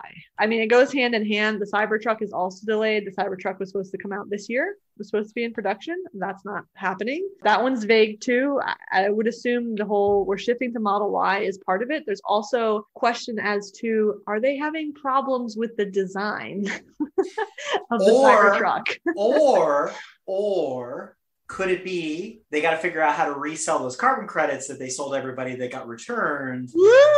Or B, is it because they're under investigation for Tesla's hitting emergency vehicles? Let's unpack that one. Or before we unpack that, C, they're seeing how well the F 150 is already putting pre sales in. And they're like, hmm, maybe this triangle blob thing polygon from Nintendo 64 days isn't what people want as a pickup truck. That's specifically why I put a hundred dollar deposit in. Can we get a doy from Brad? I mean, beauty's in the eye of the beholder. So I mean, those whatever. people are all blind. If you like the look of that thing, I guess to each their own. I mean, I'm not a pickup truck fan, but uh, give me the F-150 all day, every day. If you can haul have, if you're telling so me, much mulch. If you're telling me I have to have a pickup truck, I would like a traditional looking pickup truck. So give me the F-150, give me a Rivian, give me whatever as long as it looks square body Chevy. Dan will get you one tomorrow. It's hot. I, I do not want one. So they are also under investigation right now because of the number of times their Teslas have struck emergency vehicles while operating in the autonomous mode, which they're still claiming is fully autonomous. And then also Elon Musk recently tweeted in the last day or so how their autonomous beta testing version, whatever the heck they're on, 9.2 or something, eh, might not be that great. He's he like literally said something to that effect. In my opinion, it's not so good. Oh, okay. Yes, that's what the rest of us know because A, it is not fully autonomous. There's no such thing yet. There's no vehicle that you can lay down in the back seat and get to where you're going without dying. Okay. I mean, you might get there once, but I wouldn't put my faith in that more than once. But it becomes rate, a hearse at that point. You go straight to the funeral home. Coffin. yeah, it converts into a casket and you're done, I guess. It's not like there's been like hundreds and hundreds of these accidents, but I mean, there's been like almost uh, like a dozen or so over the last five years, which is more than enough to make people go, why is it always happening when there's an emergency vehicle on the side of the road with their lights flashing, particularly in, in night or low light conditions? What is wrong with this technology that's not seeing what it should be seeing, right? And I mean, I think it's Tesla themselves need to investigate this. It's pretty serious. Often, when there's an emergency vehicle on the side of the road, there is a human being on the side of the road outside of said emergency vehicle. It does seem to be a reoccurring theme, whether it's police cars, ambulances, etc. It's like the camera system on the Tesla target fixates on those flashing lights. It must freak out the camera in such a way that it causes the thing to become basically like a homing beacon or like a like a targeted missile I mean, it's just it's it, nuts. Something's happening. It's blinding something. There, I have read he's very adamant in it. Teslas are only going to be using the camera technology as opposed to other people's autonomous vehicles are a combination of the camera, radar, lidar, all these things. Or, or so my understanding is. The, he's kind of insistent that it's going to be 100% the cameras. It's like okay, maybe one day, but it doesn't seem like the camera technology is quite as good as the human eye that's paying attention. Plenty of people at the hands of the wheel that have struck emergency vehicles also. So I still think the biological alternative, you know, the organics in your head are still far superior to any camera and any computer. Well, and that's part decision. of the debate too, is just a computer they're not sophisticated enough to have that reason component and to understand and to get the other clues that can warn you about something. Not on a computer that small. I mean, yeah, sure. If you got Big Blue from IBM in the uh, back seat, well, yeah, of course. Yeah, I mean, if you've got three stories of massive mainframe, mainframe yeah. computers, I'm sure it can be better than the human eye. But yeah, no. At any rate, Brad's a huge fan of Toyota, as we learned earlier. But we heard something yeah. interesting. And this is something we don't hear very often, but BMW has recalled its Supra model. Oh, wait, I didn't get that right. BMW has recalled its Toyota Supra model for a braking issue.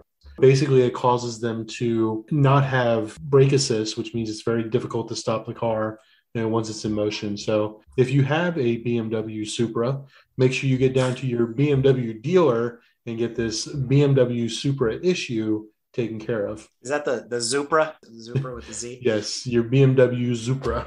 So I have to say, I actually rode in one of these recently during Summer Bash weekend. I got I'm to jealous. right. I got to right seat in a new Supra. I went in with a little bit of prejudice, going, uh, "It's just a Z4. It's just a Z4. It's not going to be that good."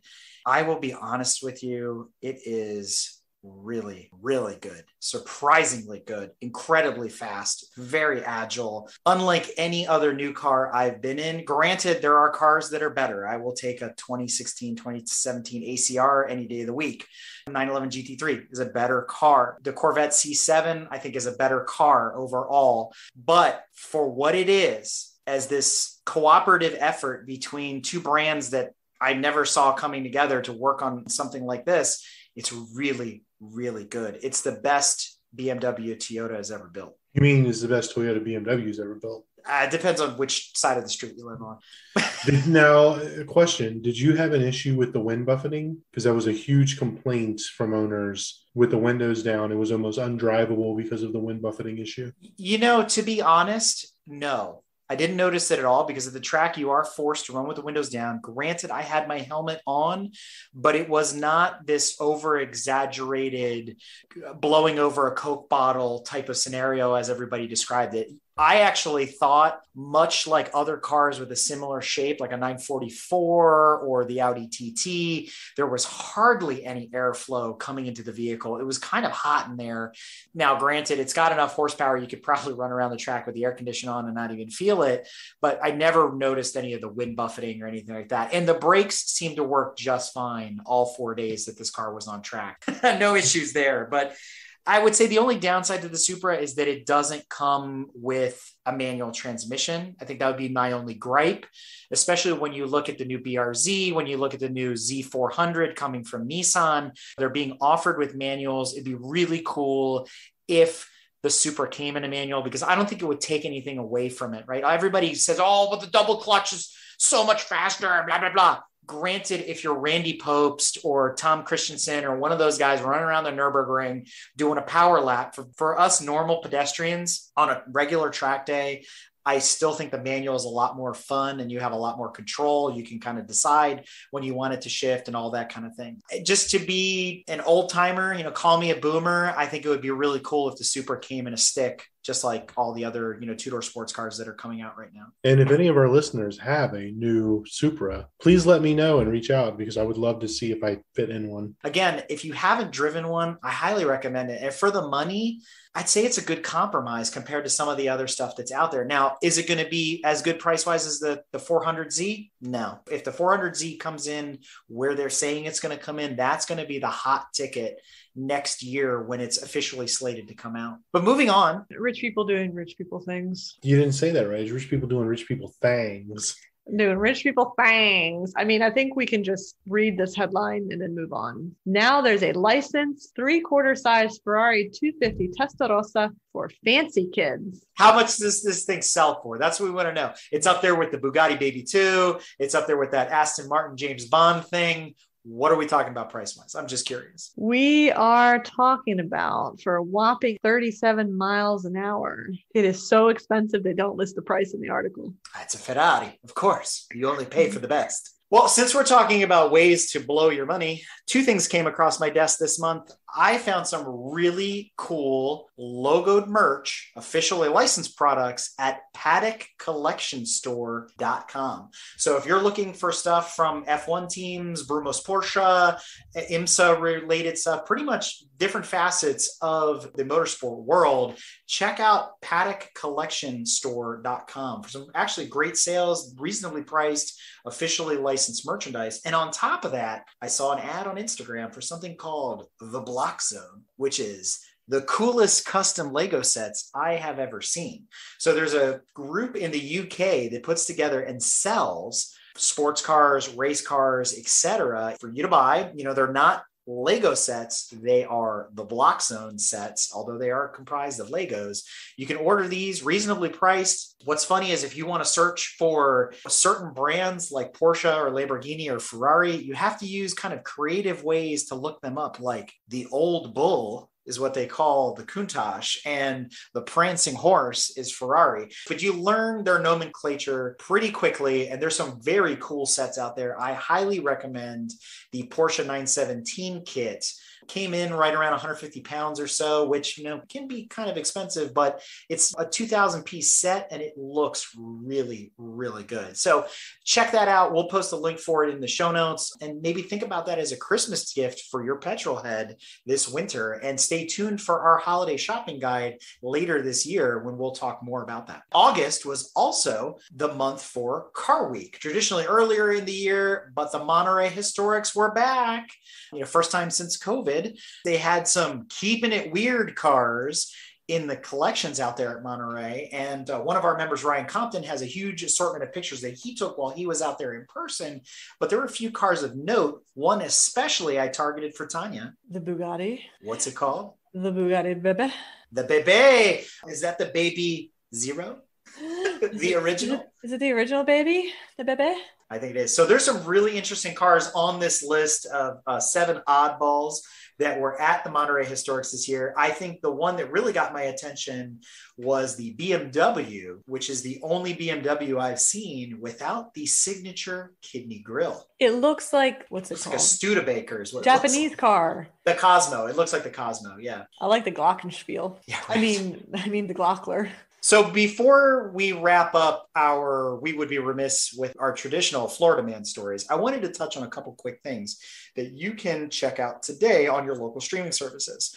Most of us know that the Grand Tour released their newest episode, Lockdown, during the month of August. And so I got a chance to review it. I don't know if you guys did or if our listeners did. I would be curious to see your thoughts. I walked away from it going, it was better than the last one, but it's the same old formula. I'm okay with that. I enjoy seeing Clarkson, Hammond, and May doing what they do best. I found it rather delightful, the cars that they chose and some of the way the scenes played out, but it was kind of more of the same. I watched it. I was bored about halfway through because I was like, oh, it's another Top Gear episode. I didn't like the car choices or the premise or whatever. It just it wasn't for me, I guess. The Buick Riviera was pretty cool. I, that I thing really was pretty slick. Car. I feel bad that he kind of chopped that thing up. I think he ruined a perfectly good car. I would have cared less if they had done that to the Lincoln or the Cadillac. Although lowering the Cadillac was kind of funny. I mean, what a turd. There's been some other mockumentaries that have come out. There's a new John DeLorean one that has come out. The Lady in the Dale is finally available on Hulu. You have to pay for it on, you know, Hulu's premium service. And then, you know, we were teased with Rust Valley Restorers their latest season, but I can't find it anywhere. It's supposed to be on Amazon Prime. I don't know if that's like Prime Canada and eventually make it to the US syndication there or whatever. Car Masters season three released earlier this month, and I did a review on it, which is available on our website. You can read all about it. I don't know if you guys watch that it really to me feels like season two, part two, because it picks up exactly where Car Masters season two ended. But no spoilers, I'm watching it right now. It is kind of off the rails. I posted on Garage Riot a couple of pictures from the series for folks that hadn't seen it yet. I wanted to get their gut reaction. The response was, Is that what they're building now? If you haven't seen Carmaster season three, I recommend it.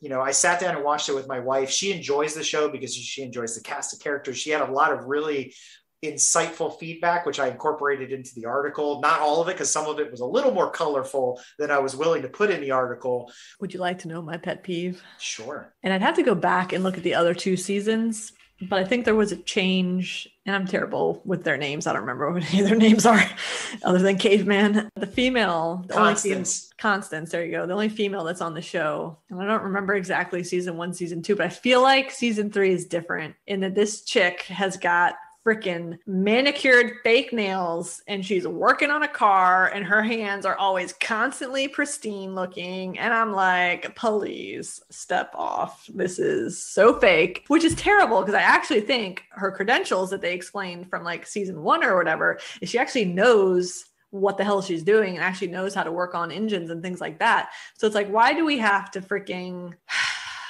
make her fashion model and I guess the pretty eye candy to generate, you know, more viewership from the male audience or, you know, whatever audience.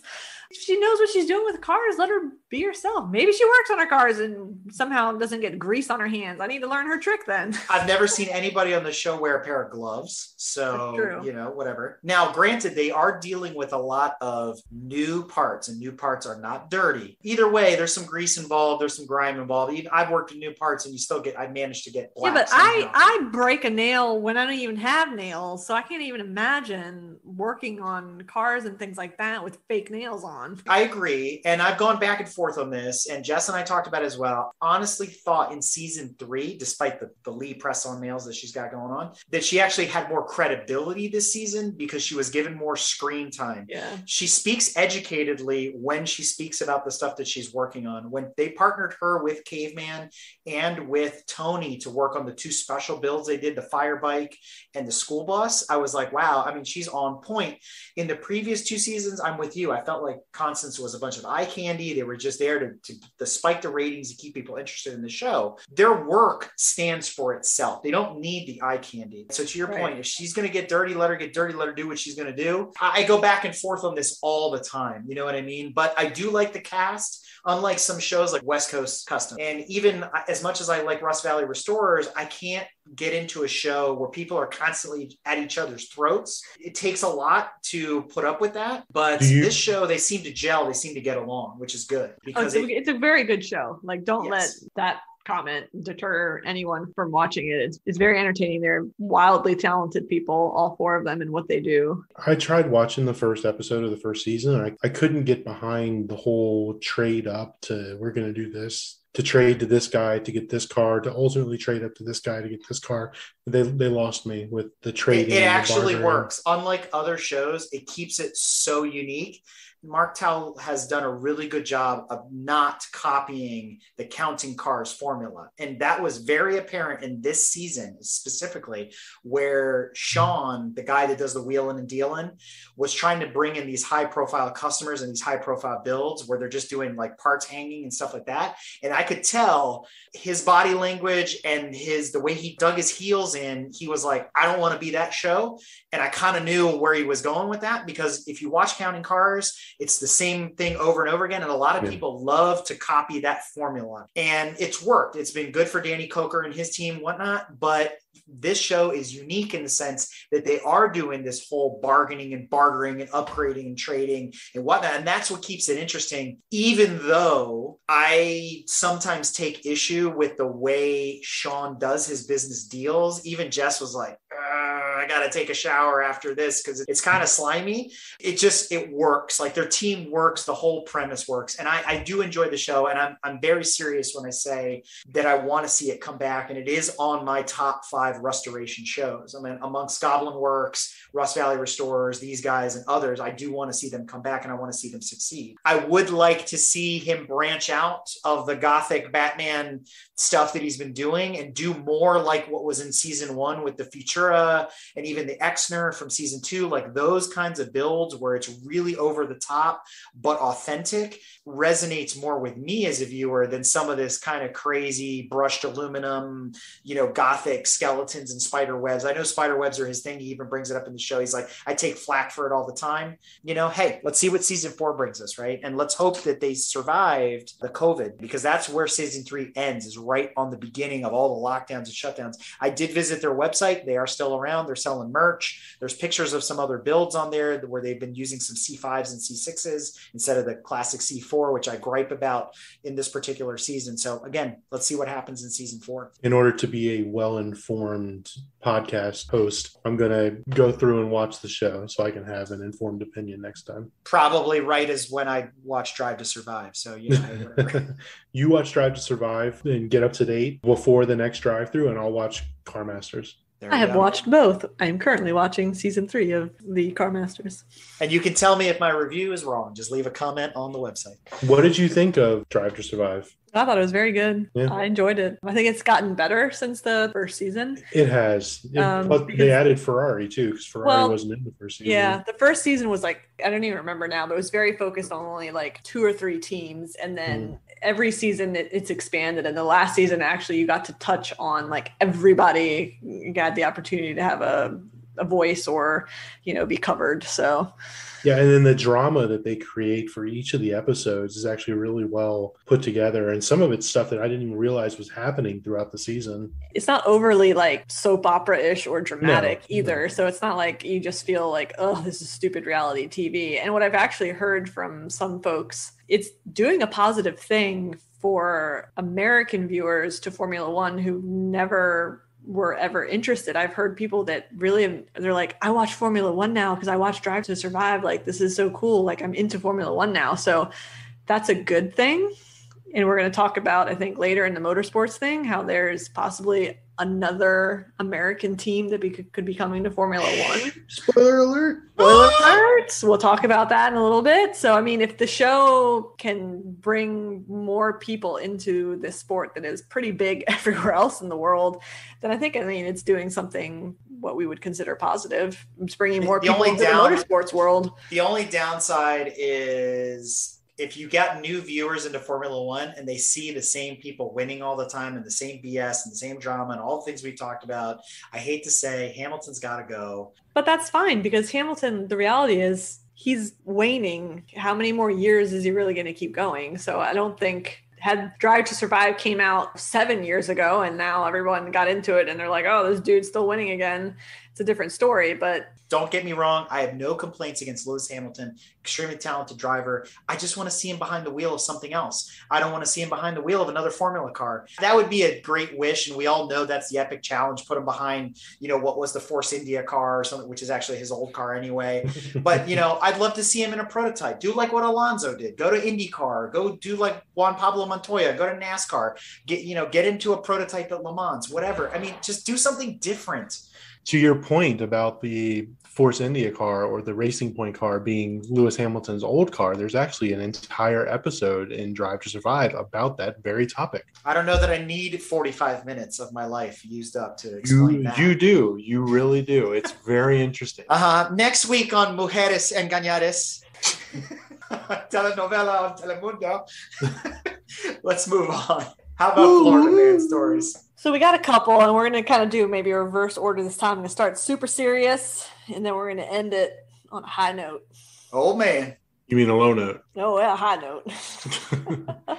The first one is a, is really not funny at all. It's very quite serious. I hope the gentleman recovers, but I, I want to use it as a public service announcement for people who think that their neighborhood is the Indianapolis 500 straight away. Because I would like to inform you that it is not, nor is anyone's neighborhood. So please drive accordingly. So there's a gentleman in Detroit who apparently brought up with the county, the city, whatever, that many, many people are speeding down the neighborhood street. Please put in speed bumps. Please put in speed bumps. And I'm not a fan of speed bumps, okay, by any stretch of the means, but he felt so strongly that he kept petitioning for this. They kept rejecting him. No, who knows? I mean, like Detroit can afford to put a speed bump in, right? I'm surprised the road is so smooth that someone can be speeding down it, but that aside. So unfortunately, and this was like caught on, I guess, surveillance video. The guy that had been petitioning for so long that people were speeding down his road was going to turn into his driveway, make a left hand turn, and people started victim blaming immediately that, oh, his turn signal wasn't on.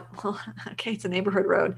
As he's turning in, he gets T boned by a guy in a pickup truck, basically doing twice whatever the speed limit in his neighborhood. I mean, it shoots him down two houses. The guy, brain damage, all this other stuff. I mean, he got T boned by a freaking pickup truck, and he was driving what looks to be possibly a 1991 Accord EX. No, no lie. Which where I know where he can get a brand new one. Versus like a modern day pickup truck, so you know he took one hell of a hit at whatever the speed was to get T-boned. So this poor man is probably fighting to survive right now.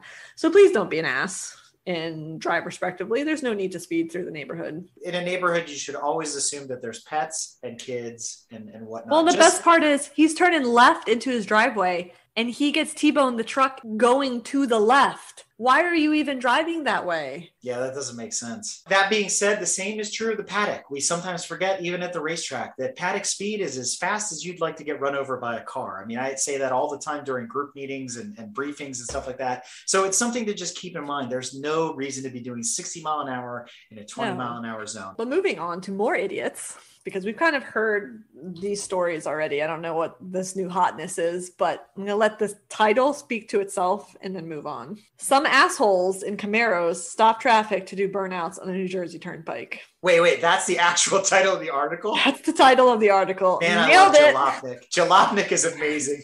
Nailed it on the head. Jalopnik, well done. You captured it. I don't need to read the rest of the article. So, also, public service announcement don't be these people. Completely unnecessary. Go to your local skid pad at your local racetrack and do your donuts. For the gram! For the gram!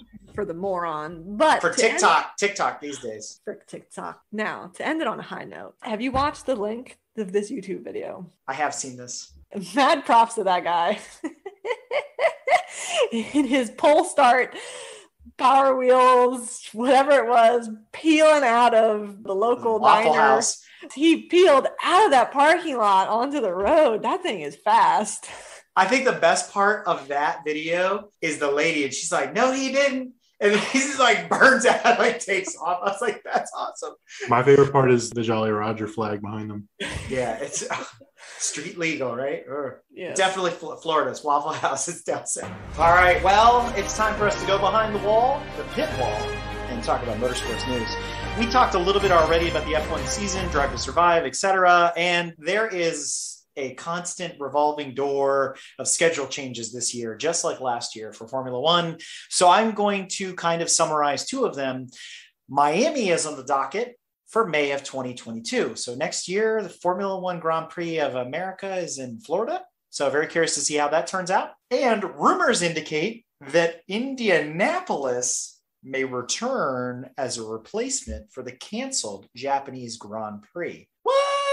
Now, we ran six to seven American Grand Prix at Indianapolis, especially the one where, you know, three teams ran and there were only six cars on track because they were boycotting the tires and that whole situation. You know, there was a lot of interesting years at Indy. I went to a bunch of them myself, along with some of our other members in GTM. But it's cool to see Indy coming back on the calendar, even if it is just as a substitute teacher. But I think there's even bigger news that Tanya alluded to coming to Formula One in the next couple of years. Michael Michael Andretti has announced that he's trying to throw his hat into the Formula One ring and bring a U.S. team into the mix. I'm glad he didn't say he was coming back to Formula One because if anybody grew up watching Michael Andretti in Formula One, it was not so good.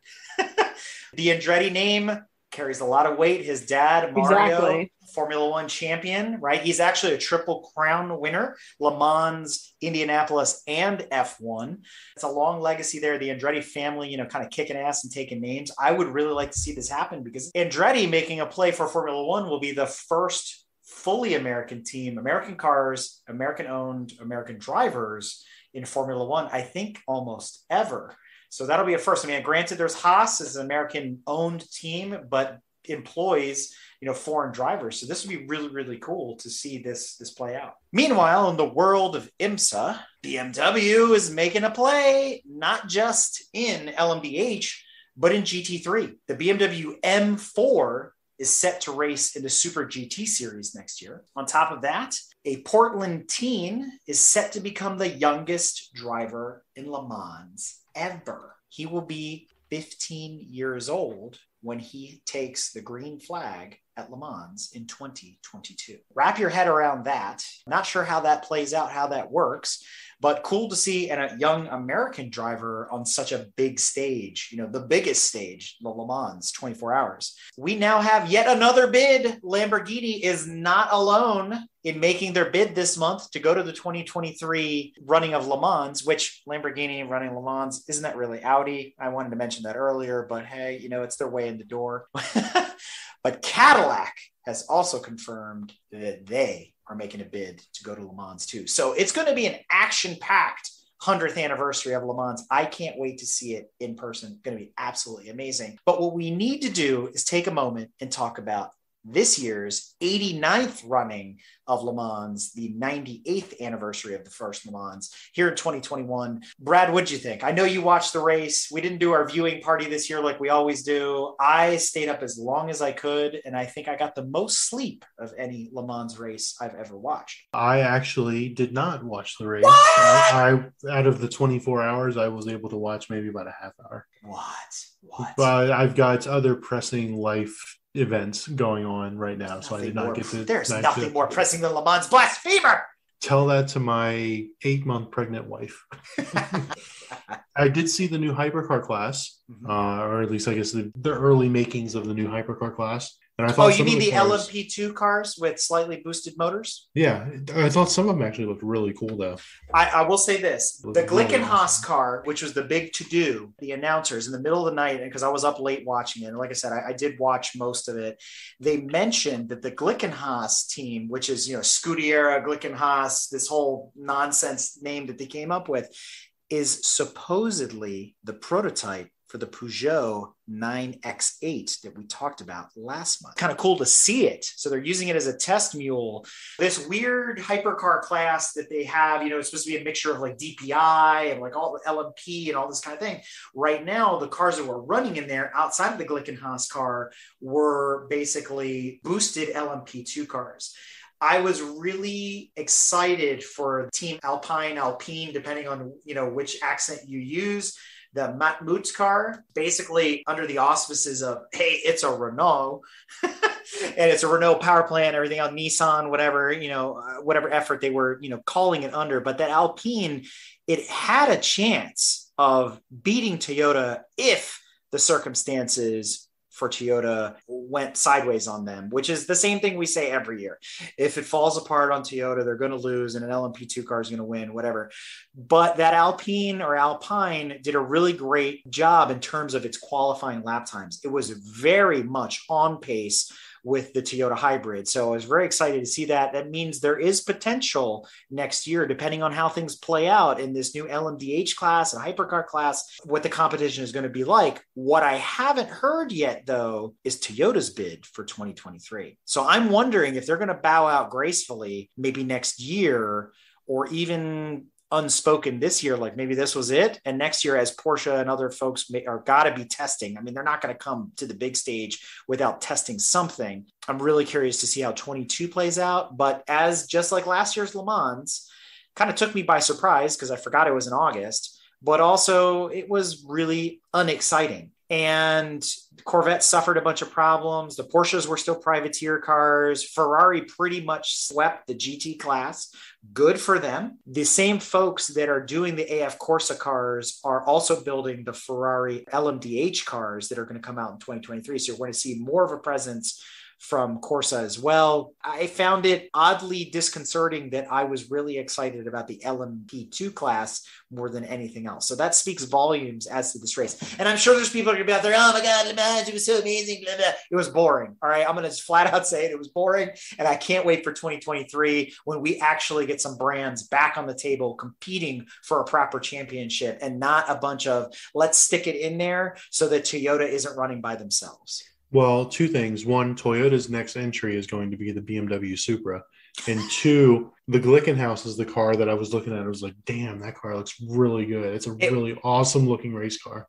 It reminds me of the old days of like Group C IMSA Can Am with like the 962s. It kind of has that look to it. It's like an old school prototype car, which again, I'm like Mercedes, hello, Sauber, let's do something here. You know, I'd also like to see Mazda come back. I mean, granted, their whole Skyactiv diesel, whatever the heck that DPI thing was they were running in IMSA wasn't so great. I mean, there's an opportunity for Acura here, Honda, McLaren, whatever. I mean, there's a bunch of other names that could still come to the table in the next two years. So I'm really, again, excited for 2023. But 2021, a little bit of a letdown. I'm just glad that Le Mans wasn't canceled. That's pretty much it. I would say the grandstands weren't full. There were definitely spectators there. And as typical of any Le Mans race, it was more exciting at night, which forces you to stay up. The, the announcers shut up and you can actually watch the race. It's more exciting at night than it is during the daytime hours. And do we want to talk on the changes in the schedule and when the next races are? I think the IMSA Petit Le Mans has changed and the VIR race has changed as well. Yeah. I think they're both within like a couple, like a like a month of each other. I think one's in October, one's in November. Because Le Mans has slid from typical Father's Day weekend to this August date right now, which hopefully it'll slide back to the middle of summer. The VIR race and the Petit Le Mans have slid way into the fall. Again, I'm going to be watching those. I will say that the WEC schedule has been severely disrupted because of Le Mans moving. So the final two WEC races are going to be held at Bahrain, a six and eight hour race in September and October, I think it was. I looked. And from what I understand, none of those folks really like running at Bahrain. Uh, they just don't like the track, they don't like the layout. So to have two races less than a month apart, it's kind of a want want for the WC season if you're into watching that particular series, which is available on like motorsport.tv and you know places like that. But I think we need to move on to FIM, the motorcycle racing series. What do we got, Tanya? Talked about him before. Likely GOAT Valentino Rossi has finally announced that he will retire from motorcycle racing at the end of this season. That is a shame. It's probably inevitable. I mean, he's getting up on years. Motorcycle racing is definitely its own beast. You need to be a young man, I think. You got to have those reaction times and and whatnot. And you know, the fact that he hasn't really been winning in the last couple years does not detract in how skilled he is, because he is still wildly skilled. But when you're I forget how old he is, uh, 40s already. Like, and you're competing against people that aren't even 20. It's just not the same. But I mean, kudos for him. Congratulations. He's still a young man. There's, you know, speculation, rumor. What's he going to go on to next? Could we see him in DTM? We already know that he usually competes in a couple races a year in WRC. So could he do more there? I don't think this is probably the last we'll hear of him. So I've heard he's heading to IMSA. I'm super oh. excited about that. So Valentino Rossi might be on the schedule for IMSA, and maybe Valentino will be at the 2023 Le Mans. What's up? So I'm really excited about that. Don't know which team he's signing with, but I'm going to be keeping tabs on this. I'm sure you will too. Big name like that, moving from motorcycles into cars, not necessarily a bad thing. Again, I mentioned this about Lewis Hamilton. Try something different. And again, like you said, behind the wheel of a prototype or even a GT car, he's still got a lot of years ahead of him because look at somebody like Jan Magnussen. I mean, I feel like he's the elder statesman of IMSA and Le Mans right now. The guy is still blindingly fast. Feel bad for the wreck that he was involved in, you know, the, in the middle of the night, which basically took him out of the running in the LMP2 cars. But, you know, it is what it is. You know, we'll look to next year and see Jan Magnussen yet again out there on the WEC stage. So, what else for Valentino? Is there a little bit more news? I think we have congratulations in order because he is also going to be a father to be. So, oh. he and his oh. uh, girlfriend are going to be expecting a little girl, apparently. So congratulations to them. So maybe another Rossi and FIM in the future, this time a female. Think about that. That would be something very exciting. Well, that's it for our motorsport news. Now we need to jump into our quick little recap of our local news here at GTM HQ. And I want to remind everybody and thank everybody again that came out to our charity event at the end of July, beginning of August, uh, our Summer Bash 7 in conjunction with Auto Interest, Summit Point, American Cancer Society. We raised over 90 $200. That's $9,200 on behalf of the American Cancer Society. That was our biggest, baddest, best fundraising event yet. Can't thank everybody enough that showed up and participated from the people that came out and volunteered, that worked the event, that were part of the car show, our members that were there for our anniversary reunion. Fantastic event. It was a lot of fun. It was a long four days after it was said and done. And right behind that, we went to Carolina Motorsports Park and met our friends at Just Track It face to face. I will say this about Carolina Motorsport Park if you haven't driven it yet, go drive it. It is a heck of a lot of fun.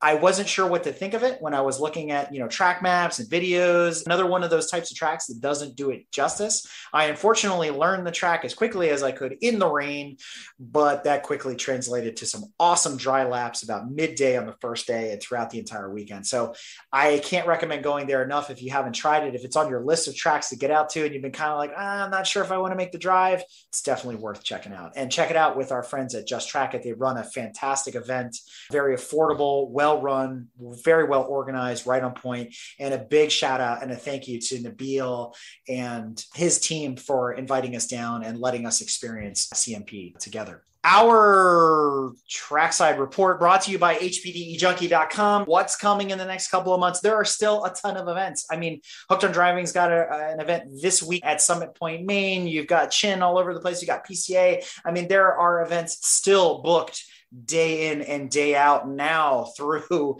Audi's event in November at VIR. So I don't want to list them all. I can just recommend going to HPDEjunkie.com and checking it out. But a couple of things that fall in line with our trackside report. Join us, the GTM team, for our end of year bash, what we refer to as the Animal House. Yes, we're going yet again to Watkins Glen. That's October 22nd through 24th. That's three days on track with Hooked on Driving at the famous, maybe infamous Watkins Glen full circuit, Lake Seneca in New York. So if you haven't checked it out before, it's breathtaking, it's beautiful, it's enormous, it's fast, it's fun.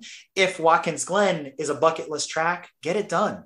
There's no excuses. It's absolutely amazing, and it'll become one of your favorites by far. Talked last year about Oak Ridge and new tracks coming to the Tennessee Valley, the Smoky Mountains, and things like that. Turns out that we know didn't happen. It got shut down. But there's a new track coming to Missouri. It's called the Ozarks International Raceway, and it was slated to open in 2021.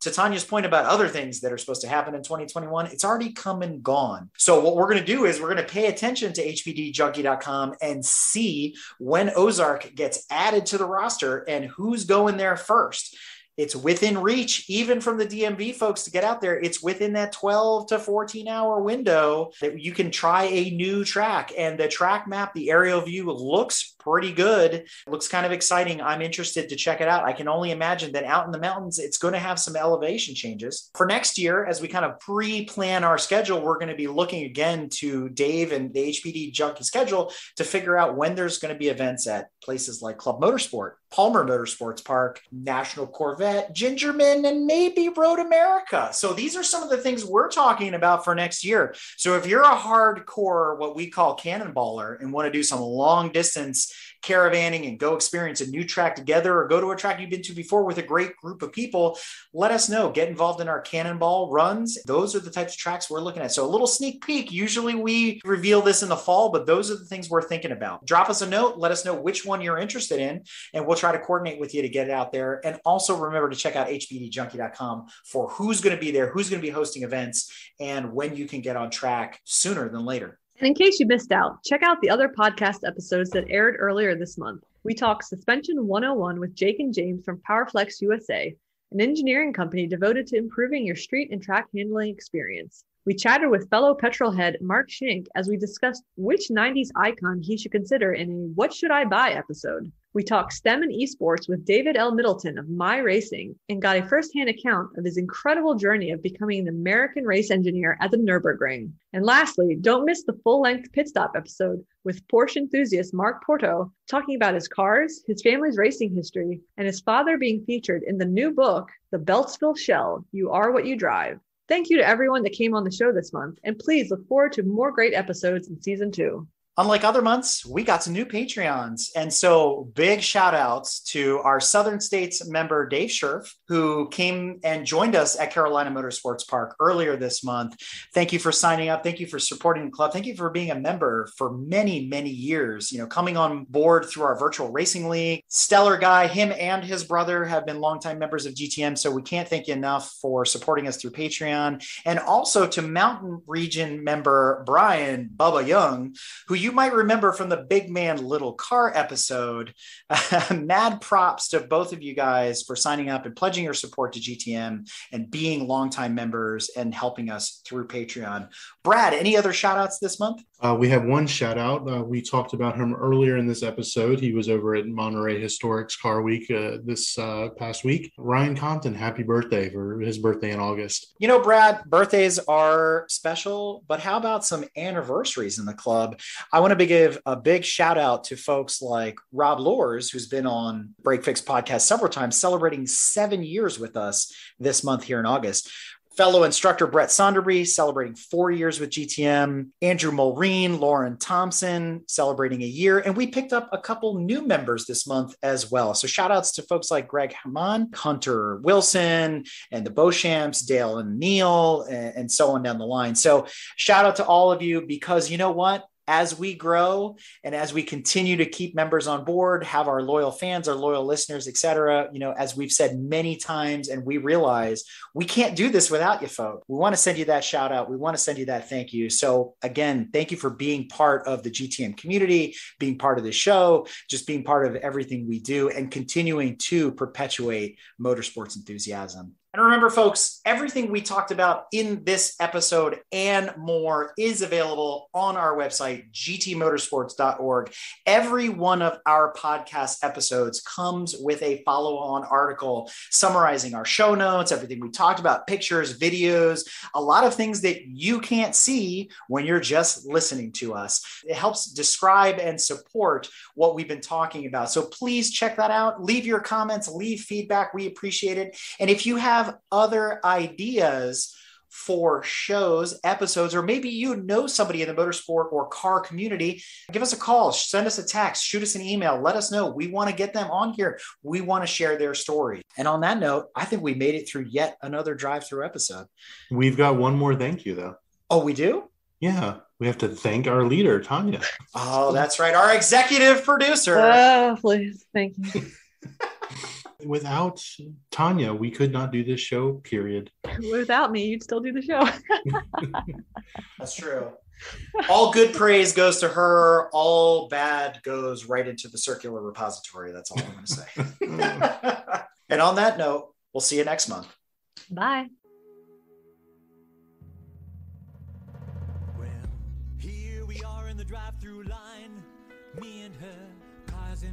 Us, cars in back of us, all just waiting to order.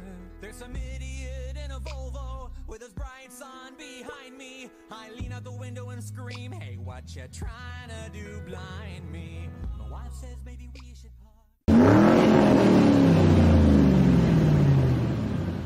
If you like what you've heard and want to learn more about GTM, be sure to check us out on www.gtmotorsports.org. You can also find us on Instagram at Grand Touring Motorsports. Also, if you want to get involved or have suggestions for future shows, you can call or text us at 202 630 1770 or send us an email at crewchief at gtmotorsports.org. We'd love to hear from you. Hey, everybody, Crew Chief Eric here. We really hope you enjoyed this episode of Break Fix, and we wanted to remind you that GTM remains a no annual fees organization. And our goal is to continue to bring you quality episodes like this one at no charge. As a loyal listener, please consider subscribing to our Patreon for bonus and behind the scenes content, extra goodies, and GTM swag. For as little as $2.50 a month, you can keep our developers, writers, editors, casters, and other volunteers fed on their strict diet of Fig Newtons, gummy bears, and monster.